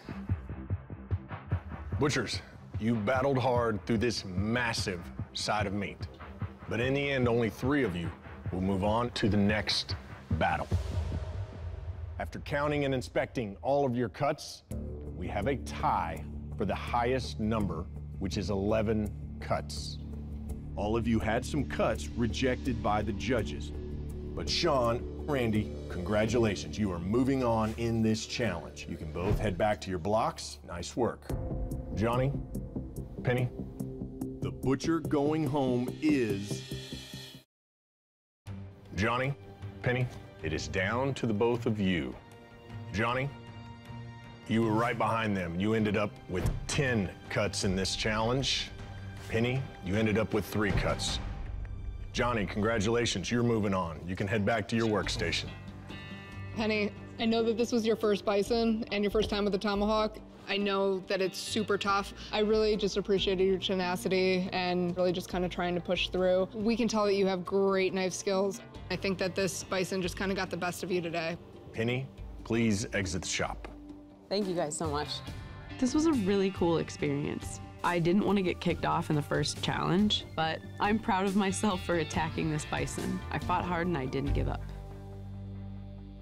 Then there were three, which brings us to our next challenge. We call it Speed Links. And yes, I'm talking about sausage. One of history's most universal foods, sausage has been on the menu for over 4,000 years. Ancient writings from Mesopotamia speak of dishes that include meat stuffed in animal intestine casings. According to the book, Sausage, A Global History, it was the rise of coordinated hunting and bigger game that helped fuel its popularity. Nearly every civilization has evolved the sausage. Today in America, there are an estimated 200 varieties for sale in butcher cases around the country. On each of your blocks, you have a grinder and a stuffer. Your challenge is to make six individual sausages that are exactly six inches in length from a pork shoulder and belly. Any experienced master butcher should be able to do this solely by eye and feel.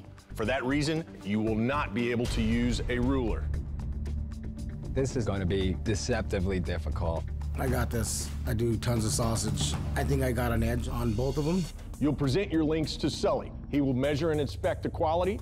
Each link that is too long, too short, or does not pass the quality check will be rejected. The first two butchers to deliver six perfect sausage links will move on. Ready, set, cut. As soon as Colby said go, I thought I should get everything set up on my table and then go get the meat. Randy opting to do a little prep work before he goes to get his pork, huh? You I like love that, strategy. Yeah. Set yourself up for success.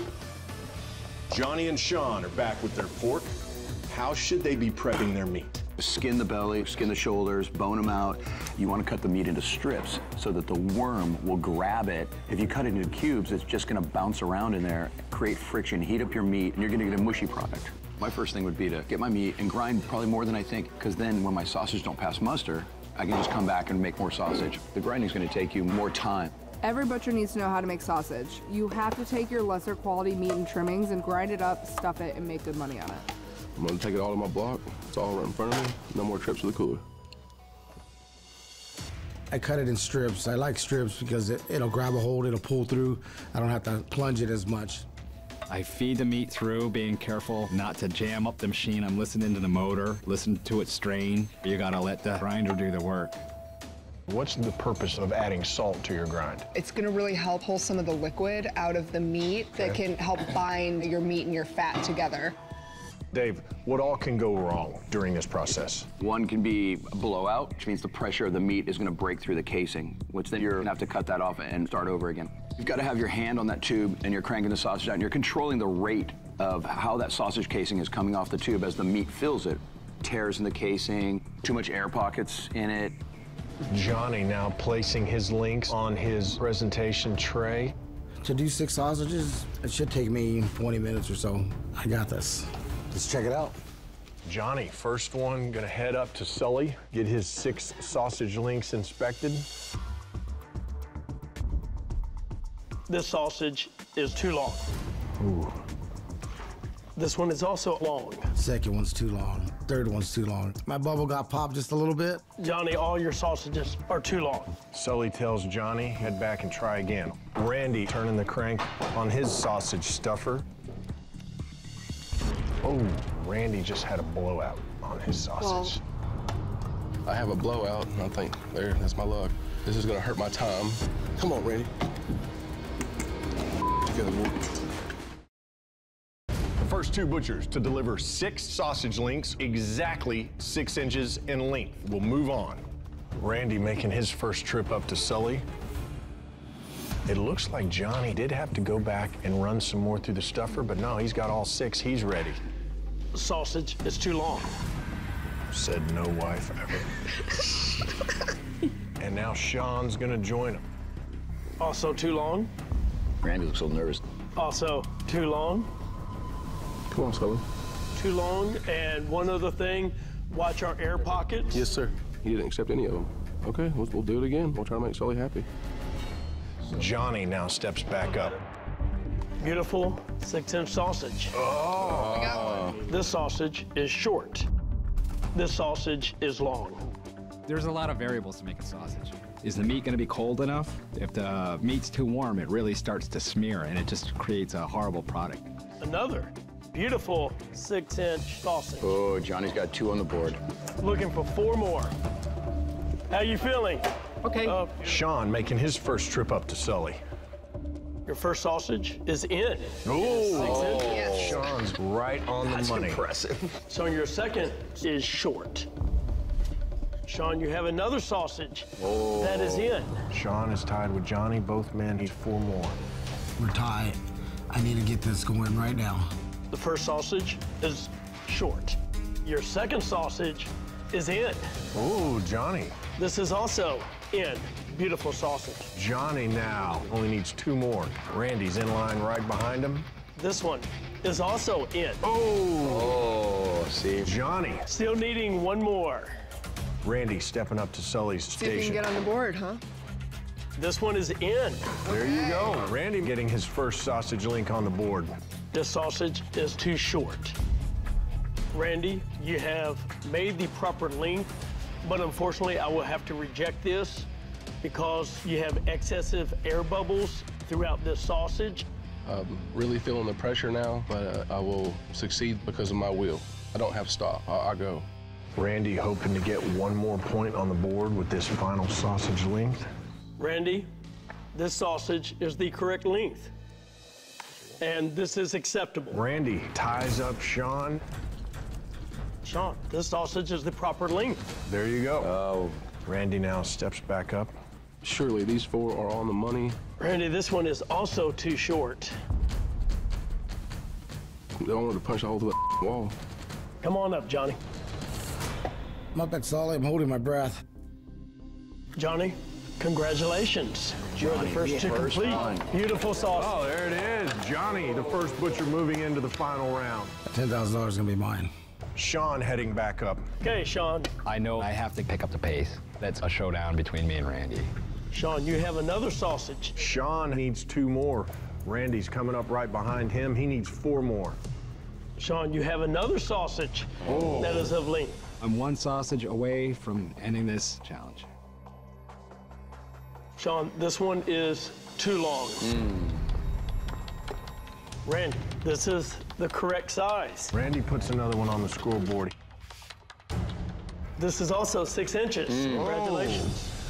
Oh. Randy now has four qualified sausage links. Wow. He only needs two more. Okay. Sean only needs one more. Sean now headed back up. It's too long. Sean's too long. He's running back with his tray. Randy's heading to Sully. This is approved. There you go. Randy Five has now tied up this competition. Now we see some people running. Unfortunately, this is too short. Oh, that one's too short. Randy oh. working the stuffer over there trying to produce another sausage. Sean already has another one ready to go.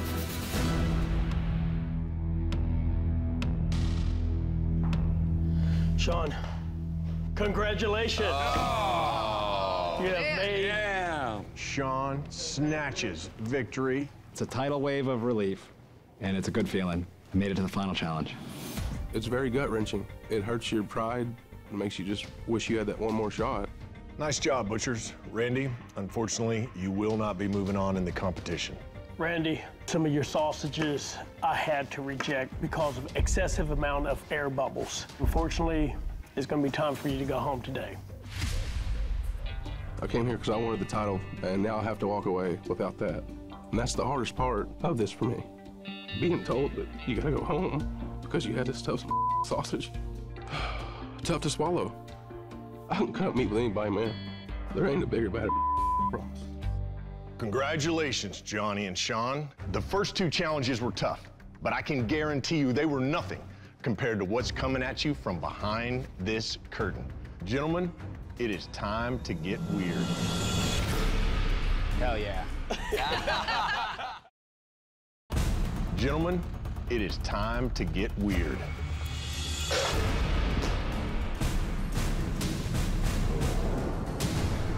The ostrich. Hell yeah. Wow, something I never even dreamed of cutting. Hitting heights as tall as nine feet and tipping the scales upwards of 320 pounds, it is the biggest bird of them all.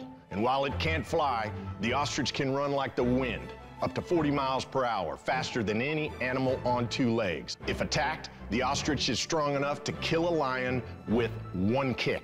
Native to Africa, ostriches here in America were mostly farmed for their skin to make leather. But in the 1980s, when people started to become more health conscious, the market for ostrich meat started to take off as an alternative to beef. Ostrich is like gold. Even ground meat can sell for more than $15 a pound.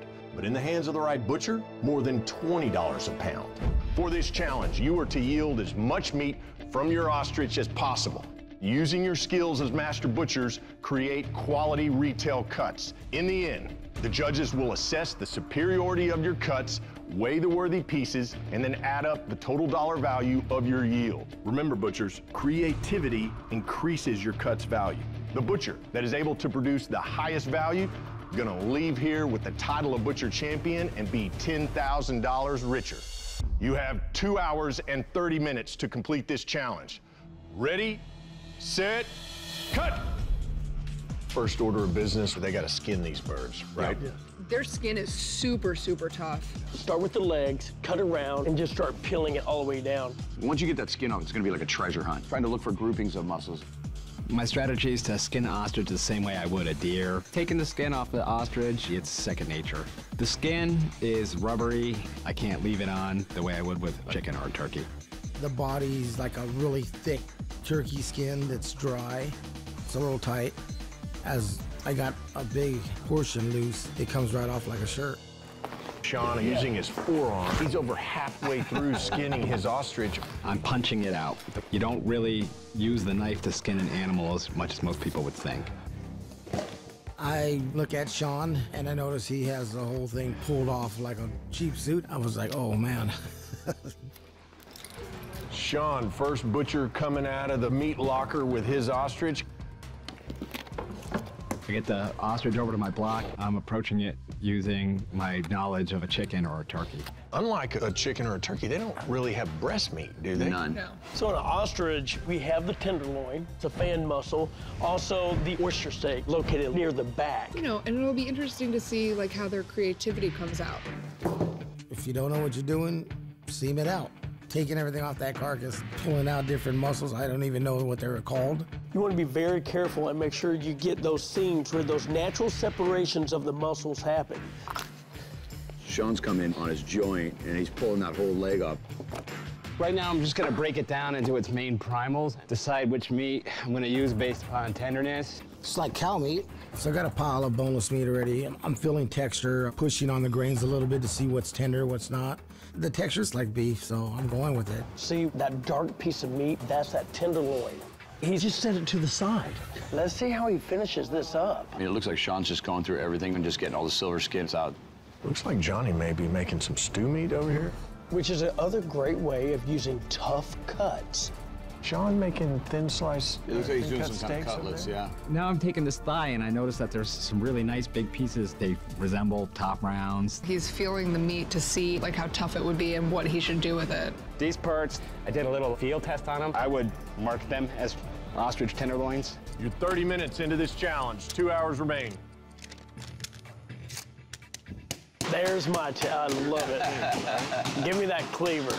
So I'm doing some scallopini. Scallopini is basically a real thin steak cutlet. I do a lot of veal scallopini in my shop. So here goes Sean, loading some of that ostrich meat. It's time to start making some ground ostrich meat. I like to make little florets. I catch it as it comes out, apply a little pressure, and then pull it off. And they look nice. If it's just ground lean, you're gonna wanna compress it a little bit, otherwise it's just gonna turn into crumble. Mm-hmm. The little bits that he did really lean, you know, representative of like a lean hamburger. Right. Sean heading back into the meat locker, gonna get some of that pork belly. It's time for me to start making some sausage, make a value-added product. Sean has mixed some of that pork in. You gotta have that fat to bind it and to give it flavor. The great thing about making sausage, you take a product that's really hard to cook, you grind it, it becomes tender, and you just increase the value of that product three to four times.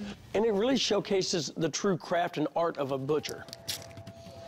Oh, looks like we got some medallions over here. I have some steaks, which look like a tenderloin to me. I'm trying to utilize everything into a retail aspect. A little oyster steak. Looks like Johnny's found the oyster steak. Just like other birds, there are two oyster steaks in here. And that's that back lumbar area of the bird where the hips are in there. You can, you can pop it out behind the thighs on a chicken. We call it an oyster steak because the webs of fat running along the cut make it resemble an oyster shell. It looks like Sean's gonna be making pinwheels with his cutlets with a layer of sausage. You take a tender piece of meat that you're getting maximum dollars for, mm-hmm. and you're taking meat that you don't get as much value, but now you can sell it for maximum value. It's very smart. Johnny's got a lot of stuff on the table. My concern was that I didn't really see him trying to figure out what to do with stuff. We don't want to just see the same thing over and over again. We're going to want to see creativity. Butchers, you are now halfway through this challenge. 75 minutes remain. I look over to Sean and I notice he's got a variety of different cuts. I'm just like, wow, it's gonna be tough. I think he can give me a lot of trouble. Now it's time to get the game face on and get rolling. I still want to get rid of some of this sausage meat, so I decided to make a boneless thigh cushion stuffed with sausage. If you take an entire chicken and grind it, stuff it back into the skin, tie it up, and then you roast it like that. This is that creativity that I wanted to see. One hour remaining, butchers. I'm kind of curious where this might go. A double Oh, grind. double grind. I know you like to see that. I do a double grind in my shop, just makes a better ground beef. Makes it look better, it mixes better, more consistent. It's really a privilege to watch really good butchers with very different approaches. Mm-hmm. You can get more money for sausage Oh, in a casing for sure. They just in Right. bulk. Oh, we're gonna rope. This is not an easy thing to do, this braiding. He is twisting the sausage as he creates his chain. Yeah, that's really impressive, I must say. This is your last half hour of this challenge. Just to add a little bit of visual variety, I decided to do some coils, and that's something that we move a lot of in the summertime. The nice thing about taking skewers, it keeps all that sausage together. Johnny using the rope technique on his Yeah. sausage, too. How you making out over there, John? Uh, I think I'm doing okay. I sneak a peek over at Johnny's table, and I'm blown away with how beautiful his display is. I cut some bones up like they were marrow bones. Use the knuckle bones for soup. I seem to have a petrified bone forest happening over here. Nice. Bonehenge. 10 minutes remaining, butchers. The center marrow bones, I cut them the long way and open them up. If somebody wanted to try roasted ostrich marrow bone. One minute. Better hustle. 10, 9, 8, 7, 6, 5, 4, 3, 2, 1. Time. I think I got it. Johnny, Sean, great job, butchers. You gentlemen head back to the stock room and wait. We will be back to get you in a bit. Thank you.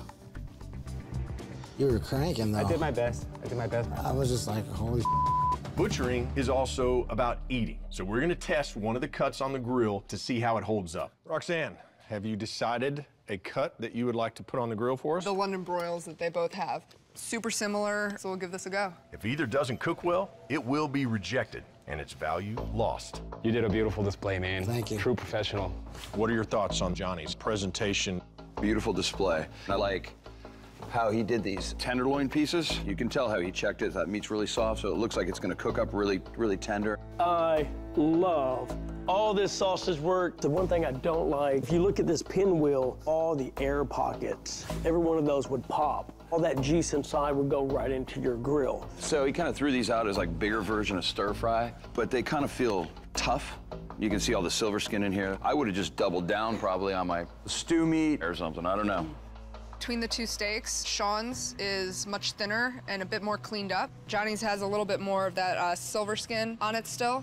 Immediately, right off the bat, I can tell that uh, Sean's cooked pretty evenly just because of the thickness of this steak. And what's really interesting about Johnny's is that as this meat cooks, this silver skin does nothing but shrink and constrict, like a piece of plastic that's around your meat still. This is why you have to take this off on these leaner meats. Here we are at Sean's display. Okay, one thing I really love here is these pinwheels. He's taking lean meat that he butterflied out, added his ground meat to it, and just literally rolled it right together. He, he took this and, and stuffed this and made basically what we call a cushion. Look at the tying is beautiful. The, the stuffing isn't falling out. On the downside, one of the things I saw with Johnny, he double grind. With Sean, he did a lot of single grind. It would have just looked a lot Yeah. better in the case. This is definitely a little bit tougher than cutting through duck or venison. Let's give Johnny's a whirl. Johnny's is a bit harder to get through because my knife is trying to work its way through this silver skin over here. Just based on the thickness of these steaks, the way that they were cleaned and the way that they were cut, I'm rejecting this cut from Johnny. Obviously, we have two incredibly talented butchers here. I'll let you guys get to work. Joe, thanks. If I win the $10,000, the money uh, obviously would be great, but I don't think it's my main motivator. I think getting involved with something like this, I would like this to shine a spotlight on small scale butchers and small scale agriculture. When I became a butcher, I was 15. My first boss at the time said I wasn't butcher mentality, but here I am 33 years later. I'm getting up in age. I want to prove it to myself that I can, I can handle this. Congratulations. Good luck. Judges, have you weighed the meat and determined which butcher has the highest dollar value? Yes, sir. We have. Let's bring the butchers back in.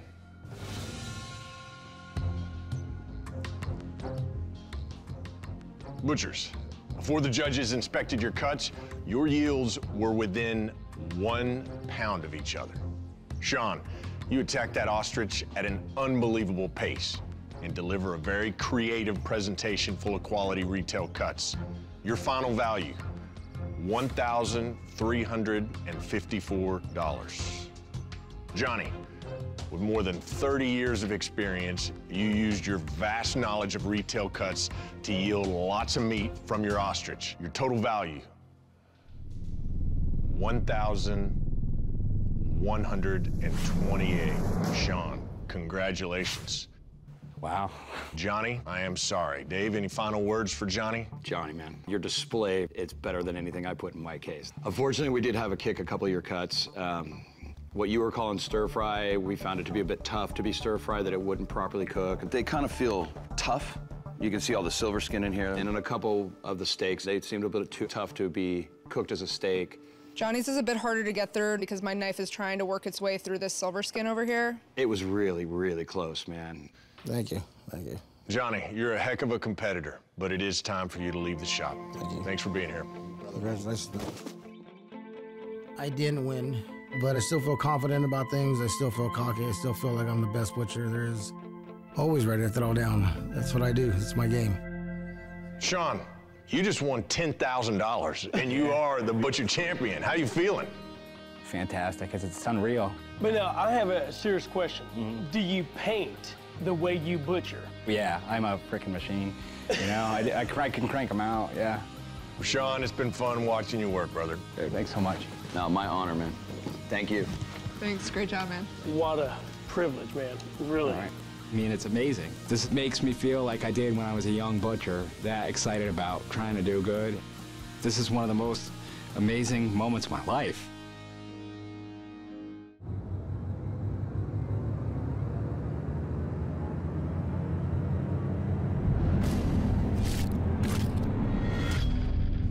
History, the butcher has been a linchpin to survival. In early civilizations, when foodborne diseases were claiming lives, it was the butcher, with their sharp tools and sharper skills, who kept death at bay. Across centuries, butchers were as highly regarded as doctors and eventually became a fixture in nearly every town across America. Today, there are thousands of people who cut meat, but only a select few with the expertise to call themselves Master Butcher. Tonight, in three escalating rounds to test speed, 30 minutes left. and precision. You are approved. Four of America's best butchers will battle it out for prize money and pride, culminating in a final challenge against a surprise beast. Oh my God. Right here on The Butcher. James, I love butchering. I think it's something primal, something we've been doing since we've been on this planet. I immerse myself every single day in this art. I am confident, but it comes with a lot of work. My name is Makala, and I have six years of butchering experience. I was a French literature major, and in my senior year, I took a hog butchery class. From there, I was just hooked on butchery. My name's Alan. I learned my skills as a butcher on the job, just like any good butcher should learn. Uh, You can read a book all you want, but until you actually take a knife and a hook to a carcass, you don't know. My name's Chris, and I have eight years butchering experience. I'm part of the community. I get to watch kids grow up. I get to be invited into everyone's dinner table. Being a butcher is not really a job because it's a passion to do for the rest of my life. Welcome to the shop. At the end of the day, only one of you will be able to call yourself the Butcher Champion and walk out of here with $10,000. Judging this competition are some of the toughest experts in the industry. Hailing from the Smoky Mountains of Tennessee is the Reverend of Fat, Michael Sully Sullivan. She's been an avid hunter since her teens and is an accomplished chef who butchers whole animals. Say hi to Miss Roxanne Spruance. And he's a fourth generation butcher with over 30 years of experience, Dave the Butcher Budworth. I can't believe I'm standing facing the judges. It's very surreal. They know what they're talking about. This is a Russian nesting doll. It's a doll within a doll, inside a doll, and so on. What does this little doll have to do with butchery? Take a look in the meat locker right behind you. Tonight's round one challenge is for the birds. Five to be exact turkey, duck, chicken, pheasant, and squab. I'm talking a bird within a bird within a bird within a bird within a bird. Why did it have to be birds? I don't like the meat. It's not firm. It's kind of slimy and only walks on two legs. The term for embedding and cooking the meat of one animal inside that of another is engastration. Its origins date back to Roman times, but it's the European royals who took it to the next level.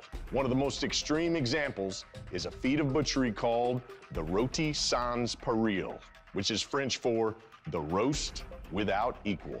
We're not talking about the three bird American fan favorite turducken. The roast without equal is a collection of 17 different birds stuffed inside one another. Today, the most common version of the roast without equal is made with five birds. For this challenge, you're gonna take those five birds, debone each bird, working from the largest to the smallest. Turkey, duck, chicken, pheasant, and then the squab.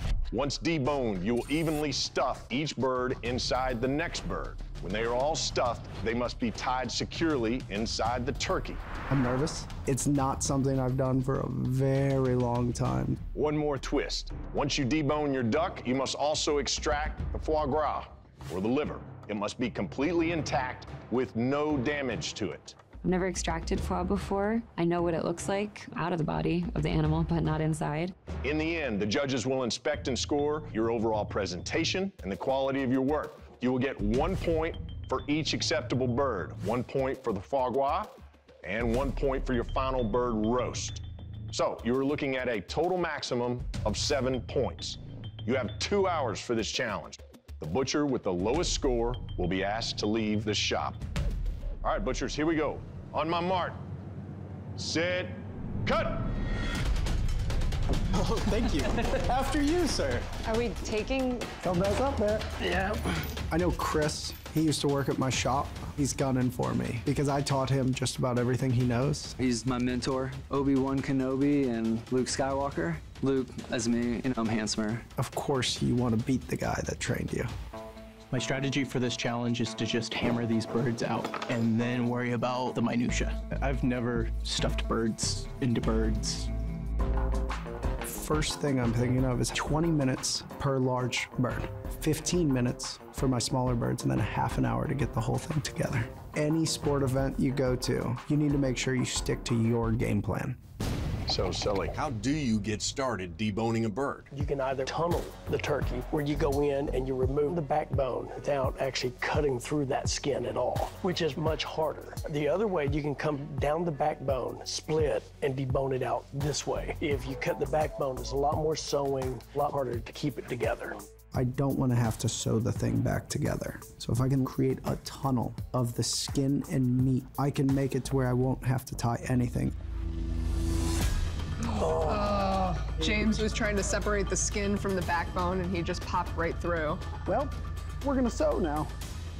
I definitely feel James is my competition. That's who I've trained under. Any trick I have in my toolbox, he put there. I am co-owner and head butcher at Colorado Meat Company. We provide our patrons with grass-fed beef, elk, lamb, pork, bison, all locally sourced within 160 miles of our shop. I initially tried to tunnel out. I ran my thumb through half of the back skin. Change plan. I'm gonna be stitching it, so we'll just go. Before I became a butcher, I was being a punk ass teenager. I'm younger than everybody. I feel like an underdog. But my strength is understanding physiology of the animal and being able to take it apart piece by piece. I'm a butcher because I love my food. I love being close to it. It makes me nervous that Alan is hanging it off the table because that the skin is so fragile, it can tear so easily, and then you're done. Alan just took his cleaver, cut that thigh bone right out so it leaves that nub so juices while cooking won't come out and better presentation. You can stuff that thigh and that leg, and it has like a cap on the end, so your stuffing's not gonna fall out. The only serious injury I've had is an inch of a boning knife in between my ring finger and my index finger. That felt great. Right now, I'm going through the turkey trying to figure out is there anything that will make me lose points? Get it out now.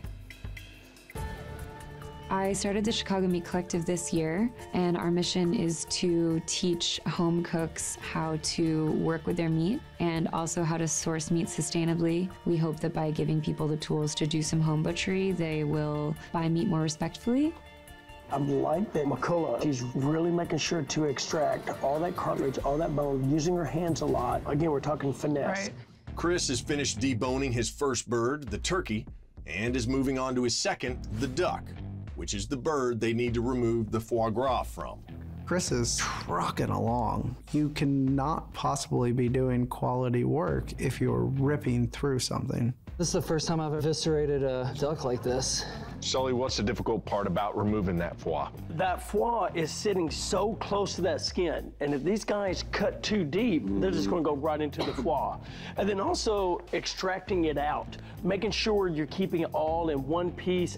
There's two lobes. You have to be really careful when you open it up that you don't split it. I know foie is very delicate, it's crumbly, and I can feel that I have it all in one piece, so I'm kind of stoked at this point. Having never done that before, hooray.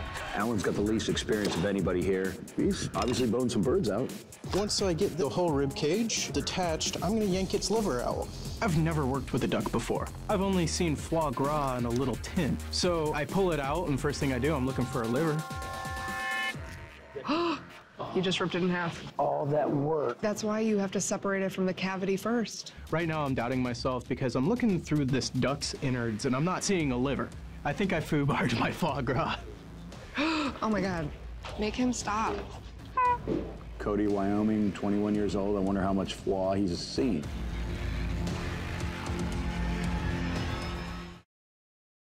The butchers are 20 minutes into this challenge. Debone five birds and then stuff them into one another. Chris is moving on to his third bird, the chicken. Alan and James are on their second, the duck, while Makala is still on her first, the turkey. Turkey's done, duck is done. Three more birds left. I grab all three at once. I don't want to have to go back into the cooler. We see James trying to scoop the foie out without taking anything off.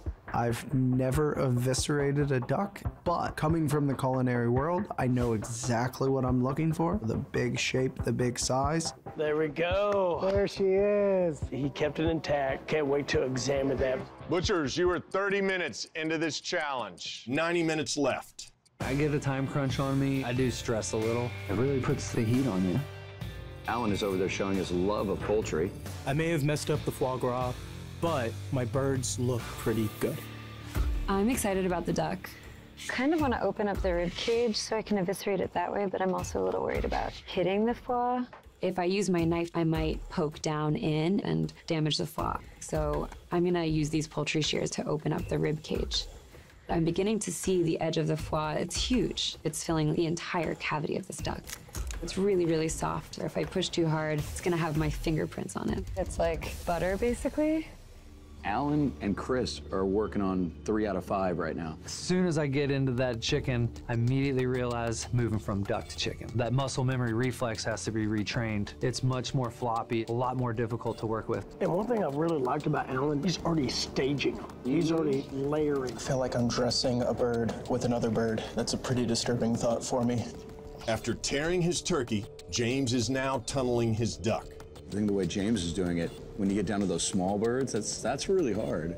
In terms of experience, Roxanne, how many different birds have you stuffed inside one another? I think I've done up to four. Sully, have you ever done more than four? Seven. Really? Yes. Dave, how many have you done? Four. Four. Nice. Time to do the chicken. I'm picking up the pace. I just want to keep this momentum going. For a guy that hates doing any poultry, Alan's really embraced this challenge. I'm approaching the pheasant just like all of the other birds, spine first. The strategy seems to be efficient, and I notice I look to my left and I'm right behind Chris. Look at Chris, he's moved on to his last bird. He's up on the squab now. What is a squab exactly? It's a pigeon, literally a pigeon. Chicken is the most familiar bird, but boning them from the inside out is not something I get to do every day. You gonna finish, James? No, will you come help me? You never showed me this, James. I'm a horrible teacher. Of the five birds we're dealing with here today, what might be the most difficult to debone? The squab. Yeah, it's much more finesse. The bones are really delicate and small. And because they're so much smaller, you can actually snap the bones, which then makes it hard to get Mhm. fragments out. I'm on my final bird, the squab. This is ridiculous. It's tiny. You notice he looked at it three, four different Oh, ways yeah, before, before he even- started. I'm choking up on the knife right now. The bones on this thing are just so delicate, and this is a technique that I learned working with a taxidermist. You gotta be really precise when you're turning out buffalo ears. James, he's still got two birds left. Just because you have the two hours doesn't mean that you shouldn't move at a good pace. It doesn't allow you any time to fix anything if Mhm. something goes wrong. Feel good. I feel confident. Ever since my first mishap, I feel like I've been right on where I want to be. Chris got his rib cage out of his squab. Now to get those tiny little toothpick leg bones out there. I know. Chris is treating that knife almost like a scalpel. Those birds are so hard. 30 minutes left on the clock. Tunneling out the pheasant, I have a lot more confidence. You can actually separate a lot of the meat from the bones with your hand. Looking at these five birds that I have to get inside of each other just seems very daunting. You're actually stuffing the legs of one into the legs of another, and it's not just laid in there. I got everything in the turkey. Now all I have to do is make sure I sew this thing up nice. Everybody's on squab or tying except for James. Yeah. Yes, he just moved to his fourth bird, the pheasant. I'm done with all the birds. First order of business, I want to get all of the limbs matched up, sock in a sock.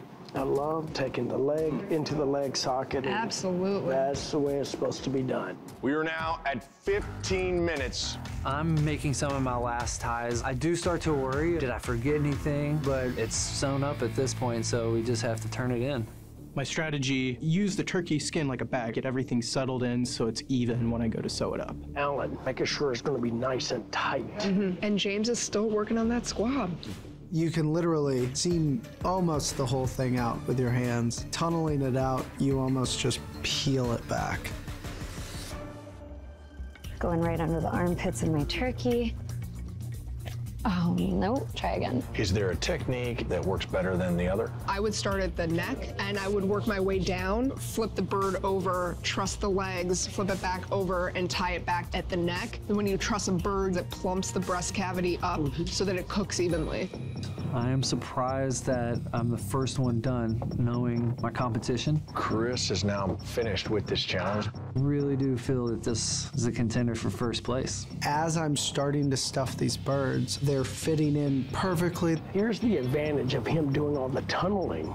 He's literally just inserting one bird into the other. I love seeing that technique. I've done both ways, and I usually come from the backbone and open that bird up. It's a little quicker. Now I gotta sew this thing up.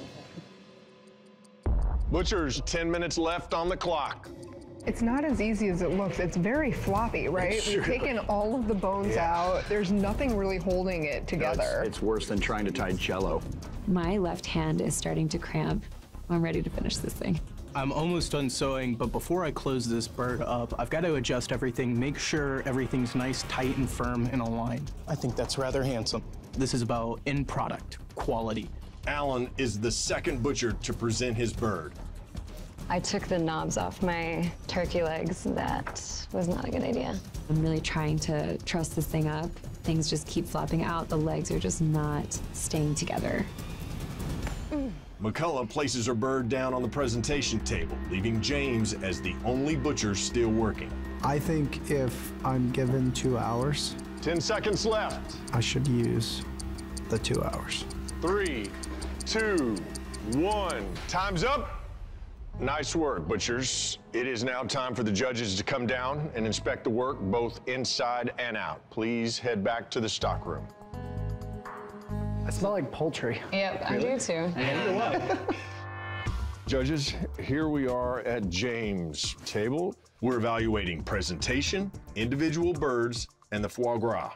It's got a nice shape to it. He did not tie his neck up, so when this cooks, it's gonna expand. You're gonna lose a lot of moisture, and also the meat is gonna slowly kind of start to push out this way. I really like he left the nubs on. It made it so much easier to tie when he came down to trussing this. My big concern is my torn turkey. About the only way you can recover from this is to get some extra skin and lace it on. I'm surprised he didn't. My first impressions are how uneven these birds are sitting. You can see the top of the duck breast right here, and the top of the chicken is all the way down here. He is the only one that tunneled, which does make them layer a little differently. I luckily had worked with those smaller birds before. Here we are at Makala's. Since she took the knobs off her feet, she was unable to figure out a way to tie those properly. I would have liked to seen a straight line instead of this kind of Frankenstein line. Nice distribution. Super nice. This would Mhm. carve so nicely after you cook it. Absolutely beautiful foie. Until I got to the duck, destroyed the foie, I think I did good. Here we are at Alan's. Well, I'm looking at really nice shape, very firm. Let's look at the squab. I got a giant bone right here. That's, you know, something that's really important because that kind of bone could cut somebody. I watched him rip this apart and heard him going, Where is the liver? That thing looks like somebody took a hammer to it. But now he knows he will never make this mistake ever again in his life. How'd you feel you did, though? I definitely beat you. I was comfortable with the turkey, the duck, and the chicken. I've seen them before. Chris finished first. This is our last presentation table. Tension, I say, is great. Great stitching. He really doubled up that skin. There is an entire chicken wing in here that I'm trying to cut through. Wow, that does not bode well. I actually can't get through. Oh, that is not That's good. sad. That's that's a shame. Every bird is supposed to be completely deboned. I enjoy that nobody feels like they completely lost and nobody feels like they completely won. Good work. High five. Good luck. Butchers, your birds have been inspected, points counted, but only three of you will move on to the next round. The butcher going home is Your birds have been inspected. You are looking at a total maximum of seven points. And so the results are in. Makala, you have a final score of six. James, your final score is five. Congratulations to you both. You're moving on in the competition. You can head back to your workstations. In this case, slow and steady really did win the race. Alan and Chris, it's down to you two. Chris, you flew through this challenge, but the judges found quite a few bones. Alan, for somebody that hates poultry, you did a pretty good job with this. But the judges did find some bones in your squab, and your foie gras was completely destroyed. Chris, this leaves you with a final score of three. Alan, your final score is four. Congratulations, you are moving on. Chris, of all the birds that we see, yours is by far the prettiest. But when we cut into it, three of your birds still had the wings left on it. All right, Chris, thanks for being here. Please exit the shop. Thank you, guys. I'm devastated. I take a lot of pride. I work hard. So it's heartbreaking that I did it fast, but I didn't quite do it all right. Butchers, one challenge down and two to go. You're gonna have to grind it out. In this next challenge, we like to call it the burger battle. Humans have been eating ground meat for thousands of years. In the 12th century, the Mongols would eat ground meat while riding on horseback. The Russians adapted the Mongols' ground meat into steak tartare. However, the origin of the hamburger is widely disputed, but it's no secret that America loves burgers. In fact, we eat more than 50 billion here each year. That is billion with a B. A true master butcher should be an expert at portion control, meaning they can prepare a customer's specific order accurately without even using a scale. In the meat locker are tubs full of chuck trim. You will each grab a tub and then using the grinders, make ground beef, which you will form into patties of varying weights. Four quarter pound patties, four third pound patties, and four half pound patties. You will take one patty at a time up to Sully. Sully's gonna weigh it and he's gonna inspect the quality. Here's the kicker. You don't get to see how much it weighs. We don't get to know how much they weigh. That adds another level of complexity to it. If your patty comes in underweight, he's gonna reject it, throw it away. If it comes in overweight, you'll have the opportunity to correct it. First two butchers to make 12 perfect patties at the correct weights will move forward to the final round. All right, let's do this. Butchers, ready, set, grind. This is a race against my competitors. So I need to figure out what I need to do to be as efficient as possible. I think back to what we do every day at the facility, and that is package one pound packs of ground beef. So if I can portion those out, it can give me a base to where I need to start. What is trim? Trim is extra red meat, extra fat from what the butchers are cutting that day. We can't just throw that away. It's money. And also it makes great hamburger. This quarter pound burger is gonna be really difficult. Yeah. Yeah. It's really deceivingly thin. I don't think a normal thing that I would do. My burgers are closer to like six or eight ounces. James is the first one to pay a visit to Sully. He needs this patty to weigh four ounces. James, your patty is over. James' first attempt comes in a little heavy. The biggest challenge is going to be having no idea how over I am. This challenge is going to be super tough. First two butchers to make 12 perfect patties at the correct weights will move forward to the final round. My main goal is to get a base to work off for the rest of the competition. So being over on the first one, I take a little off, then I can continue to base off of that. James trying to hit that first quarter pound patty. Your patty is in weight. Yeah. There we go. Quarter James, pound patty. First one on the scoreboard. Alan, you're over. Thank you, sir. James now back at Sully's station. Congratulations, your second patty. Beautiful. I'm gonna cut what I think is about a pound into what is about four pieces. Look at her eyeballing Mhm. that burger. Yes. Makala, congratulations. Ooh, You have your first patty. Puts a point on the board. This is what a quarter pound feels like. I've really got to use all my senses and do it again and again. Congratulations, your third patty. Wow, there it is. This is a quarter pound patty. Thank you. Oh, there Beautiful. you go. Makala has two of her four quarter pound patties. I came here to cut meat, not make hamburgers. Well, congratulations, Alan. You have your first patty. All three butchers are on the board. James, you have your fourth patty. James has closed out the quarter pound patty. Moving on to third pounders, I'm enjoying leading the pace. If they can ballpark a pound, they can then cut it into four for the quarters, thirds for the 3rds mm-hmm. and two for half. Now I'm gonna try and make four equal sized balls. So that way I don't have to continue to guess what size we're at. Makala, this is beautiful. Oh, quarter out. Oh, There it Thank is. you. Makala now moving on to the third pound. Roxanne, what makes the perfect hamburger patty? It's got to be a nice mix of meat to fat, kind of form it together. It really does serve a purpose for cooking so that it holds together. Makala now trying to take the lead with this patty. She needs it to weigh five and a half ounces. This is approved. Oh, Oh, and her Makala gets first her- attempt. Makala takes the lead. Still anybody's battle. James, congratulations. This is also oh, James answers. Alan trying to close out the quarters. Alan, congratulations. Oh, oh Okay. there we go. Now we got a race. All butchers are now on their third pound patties, seeing a sense of urgency from all three of them now. Approved. Oh. Beautiful. Congratulations. Oh, it's neck and neck with those two. Approved. Approved. Thank you. Quickly, James comes back up. Nice work. Oh, oh, man, James. And Makala, this one is also approved. Thank you. Oh, Makala Tie it ties it up. up. James is up to the scale. He's shooting for eight ounces. It is over. Okay. I start to just pinch away, trying to take about a half ounce away. Approved. James, first one to strike with his first of four half pound patties. The pinch method is working. Sigh of relief, back in the lead.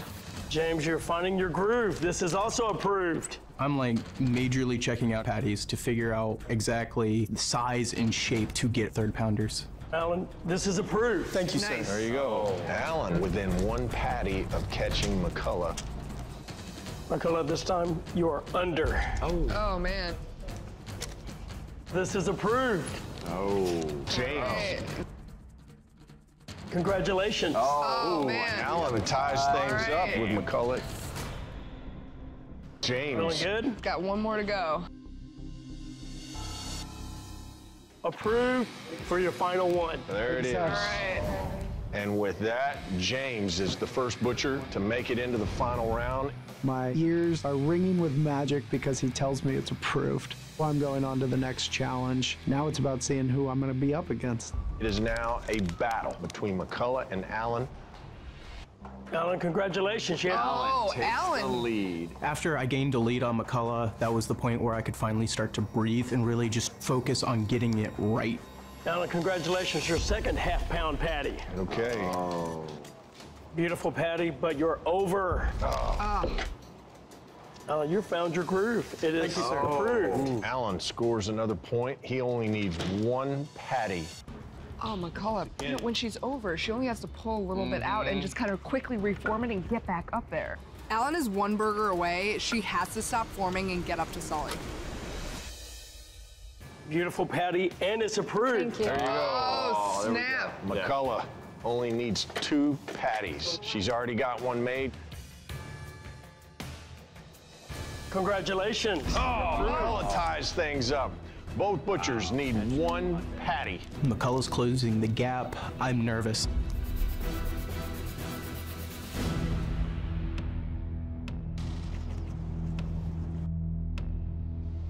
Alan, you are approved. Wow! And just like that, Alan scores the fourth of his half pound burgers. Nice job. Ian. That'll do it. I'm very nervous going into the final round. I'd really like to leave with that 10 grand.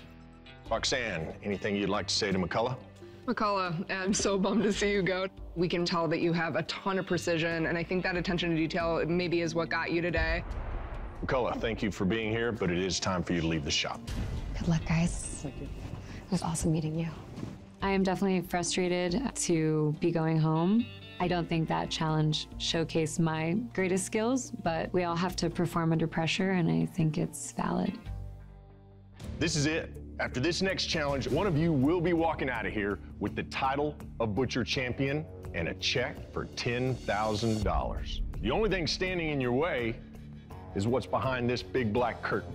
It is time to meet the beast.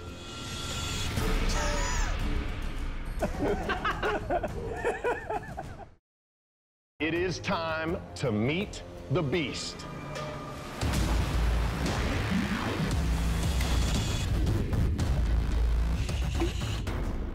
Opah. Why Why? I've never butchered a whole fish on this scale. This is just completely alien to me. I've had experience cutting fish before, but nothing like this. It's a fish that goes by many names moonfish, kingfish, but ask a butcher or fishmonger, and he or she will likely call it by its common name, Opah. Swimming in the ocean at depths between 165 and 1600 feet, these creatures of the sea can tip the scales at up to 200 pounds. Nearly all of the Opah sold in the United States comes from Hawaii, where it is caught sustainably by line. In your business, it is all about the yield and adding value. You are to butcher as much meat as you can from your Opah fish and create as many retail cuts as possible. An intact Opah can fetch $275, but a master butcher can pull almost $1,000 from this monster of the deep. In the end, the judges will assess the quality of your cuts, weigh the worthy pieces, and then add up the total dollar value of your yield. The highest overall value is going to win it all. You will have access to all the tools and equipment in the shop, including the grinders and stuffers. You will have 60 minutes to complete this task. Doing a whole fish in 60 minutes? Seriously? Let's do this. Three, two, one, cut! What are going to be the keys to getting a good yield from this Opah? This fish actually has seven different muscles. Each one cooks a little different, has a little different texture, different flavor. Down by the gills, if you find this little cap that you can take off of the belly, you can find both the ab and adductor that are dark, dark red, like a dark tuna. Both have a higher penny per pound value than any other part of the fish. So find those little treasures behind that gill. Okay. Also, fish are inherently very fragile. I'm looking for them not to manhandle this, but to be very gentle. Wow. One slice. I'm completely out of my element. What I do every time something's new is just throw myself into it 110%. I'm thinking I just want to get it taken apart. That way I can start filleting, portioning, and hopefully making sausage in the end. I run and grab a cleaver. I want to get that tail off so I can figure out where the peak is to segment the fish properly.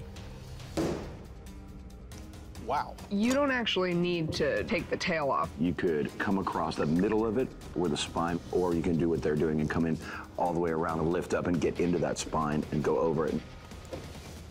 Alan found that center spine. He's just tossing this around so aggressively, and it'll fall apart super quickly on you. I'm starting to notice as I get off these fillets, there's a lot of different muscles in here. So I'm kind of going to seam it out just like I do with beef and pull it out muscle by muscle. You see right there, that's that hidden piece of meat. That abductor and adductor. Okay, there's a seam. Finally, I've got something familiar. I found that this fish has a seam and it's opened up. I can see that membrane. I'm gonna run with it. Those are great cuts. The flavor of it's a lot like tuna. Most of the time when people grind parts of Opah, it's the abductor and the adductors. There's your abductor right there. Is he going to know what to do with that? That's going to be my question. Also, once you get that abductor off, that adductor is kind of in there, but it's covered in this membrane, so it could look like it's an organ, and they might not harvest it.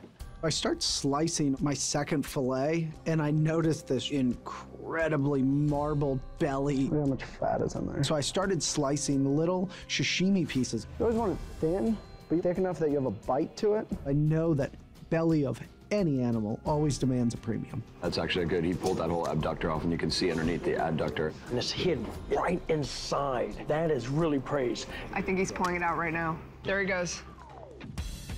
That was a nice job pulling out that adductor from the center. I mean, James has worked with fish before, but he still hasn't pulled his abductors. He hasn't cut into the head at all.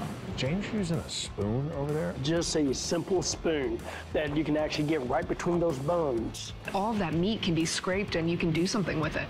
Beats leaving money on the bone. I want to make sure that I get everything off I want to. So I go to the top cheek, get those off. I know those are going to be worth some extra money. James doing a lot of intricate trimming. And this is a fish you don't have to do a lot of trimming. Just kind of shape it up. Yeah. And just display them nice. Butchers, 30 minutes left. I'm very worried about the time. I thought I was gonna have plenty. There's a lot left to be done. I'm curious to see if either James finds the abductor or Alan does anything with it. One found, one not. Neither used. All right, butchers, 30 minutes left. James, he's speeding himself up. He's definitely feeling a sense of urgency. And, and Alan's definitely matching him. Excuse me, fish. I started to portion these center cut loin chops. I'm just pushing forward. In order to have variety, I'm gonna cut some of this into shabu shabu. That's hot broth that you cook your meat in. Usually it's wagyu beef, why not fish? Alan's lining some stuff up on the butcher paper. It's a bit thicker maybe for shabu shabu. Exotic cuts like that are a great way to boost value.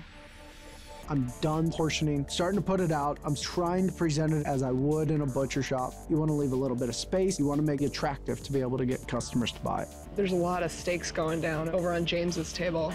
Everything just like poof. I'm relying on my tactile sense, and I'm feeling that this is a good tender piece, and I want to present it in a way that end user can cut to their liking. Those two big pieces of fish are beautiful, but if somebody came and bought that whole piece, I'd have to get 10, 15, 20% less for it because they're buying in volume. Whereas if I cut it into steaks, it's much more valuable. Now it's time to grind. I pull out my trim bucket and realize that I have way more meat than I need to make sausage. So I'm gonna make a few more burgers than I was originally anticipating. Alan's pulling the grinder out. Is he gonna grind the abductor? A real popular way is taking that abductor muscle and you making it sausage. He doesn't realize that's usable meat. Butchers, you have five minutes left in this challenge. It's crunch time, and my priority is to get this grind out as quickly as possible. I believe we're gonna see some Opah sausage. This abductor muscle have been so much better in this application. I know. I'm extremely concerned that James is just going to forego Mhm. the abductor and the adductor. Since we're looking at this from added value, what you can sell, I think it would be hard to sell a coil of fish sausage. James pulling a cleaver. I'm trying to get every last bit off this carcass so that way my yield goes up. Oh, that's tough fish. Come here. I Think he's gonna find the abductor right now? I think he's going to cut right through it. Alan now grabbing a tomahawk off the back. Whoa, and his grinder Oh, almost takes catch. a spill. Come on. I did say he has access to all the tools and equipment in the shop. I'm chopping at this thing with the tomahawk because I want bones for stock. Less bone on the table, more yield. 30 seconds left. Let's whack up some stew meat. Oh no, he's cubing up his abductor meat and he didn't even clean any of the silver skin off. 10, 9. Oh my God. 8, Oh, no, no, 7, stop. 6, Not a five, tool. 4, 3, 2, 1. Time. That was a hell of a race, dude. All right, butchers, great work. Roxanne is now going to select one cut of your Opah and put it through her cut and chew test. Dave and Sully are going to do a further inspection. Please head back to the stock room. Roxanne, you decided what you're going to grill up? I have, because Alan left so many whole pieces, it really only leaves us with one option, these steaks from that center loin. I'm gonna grab another steak from James and I'll see you guys in a bit. Excellent. If either doesn't cook well, it will be rejected and its value lost. My retail mindset took over, and instead of cutting steaks, it was primals. I mean, that's exactly how we do it at a butcher shop in Nashville.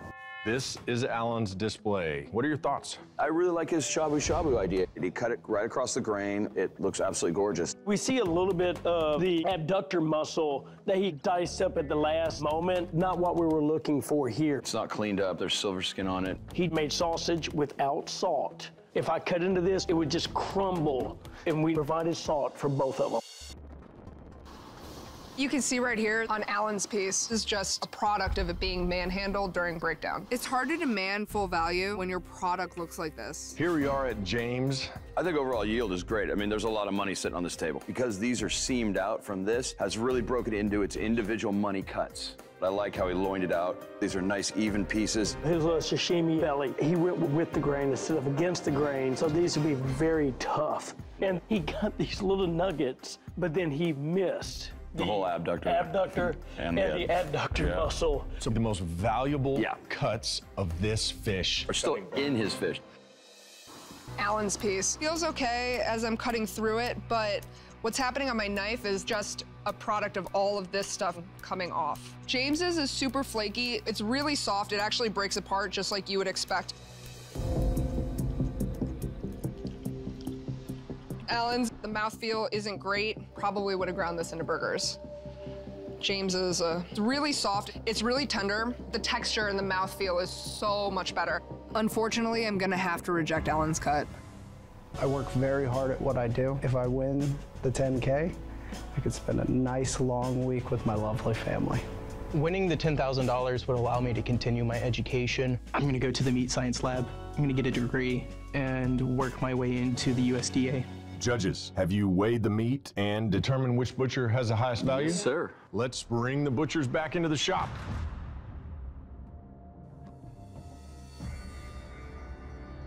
James, you made very good choices with the Opah, but the best cuts of meat are still sitting there on your butcher block.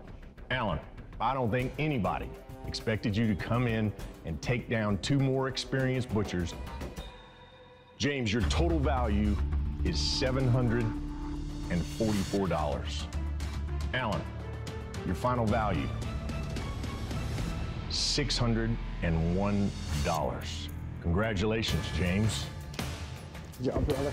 Alan, man, I can't even legally speak about what I was doing when I was 21. you got greatness ahead of you, but you had to pull off your abductor. It's not cleaned up, there's silver skin on it. Also, your sausages, they weren't salted, they wouldn't bind, so they wouldn't be able to cook properly. We had to disqualify those. Alan, it is time for you to leave the shop. Thank you, guys. Hey, thank you, man. Best to you, brother. It's been an amazing experience. I've learned a lot. That's the most valuable thing in this competition. Not the $10,000, the experience and the lessons that you learn. King James, you just won $10,000, brother. Congratulations. Thank you, sir. Nice Thank work. You. How you Thank feeling? I'm on cloud nine. I love the craft I get to be a part of every day. Happy to be here standing alone. Thank James, you. are the butcher champion. Amazing. Nice work, man. Excellent job. It was an incredibly hard competition. I came in here knowing my skills and the butcher definitely challenged it. It was so much fun. I met so many great people and I won.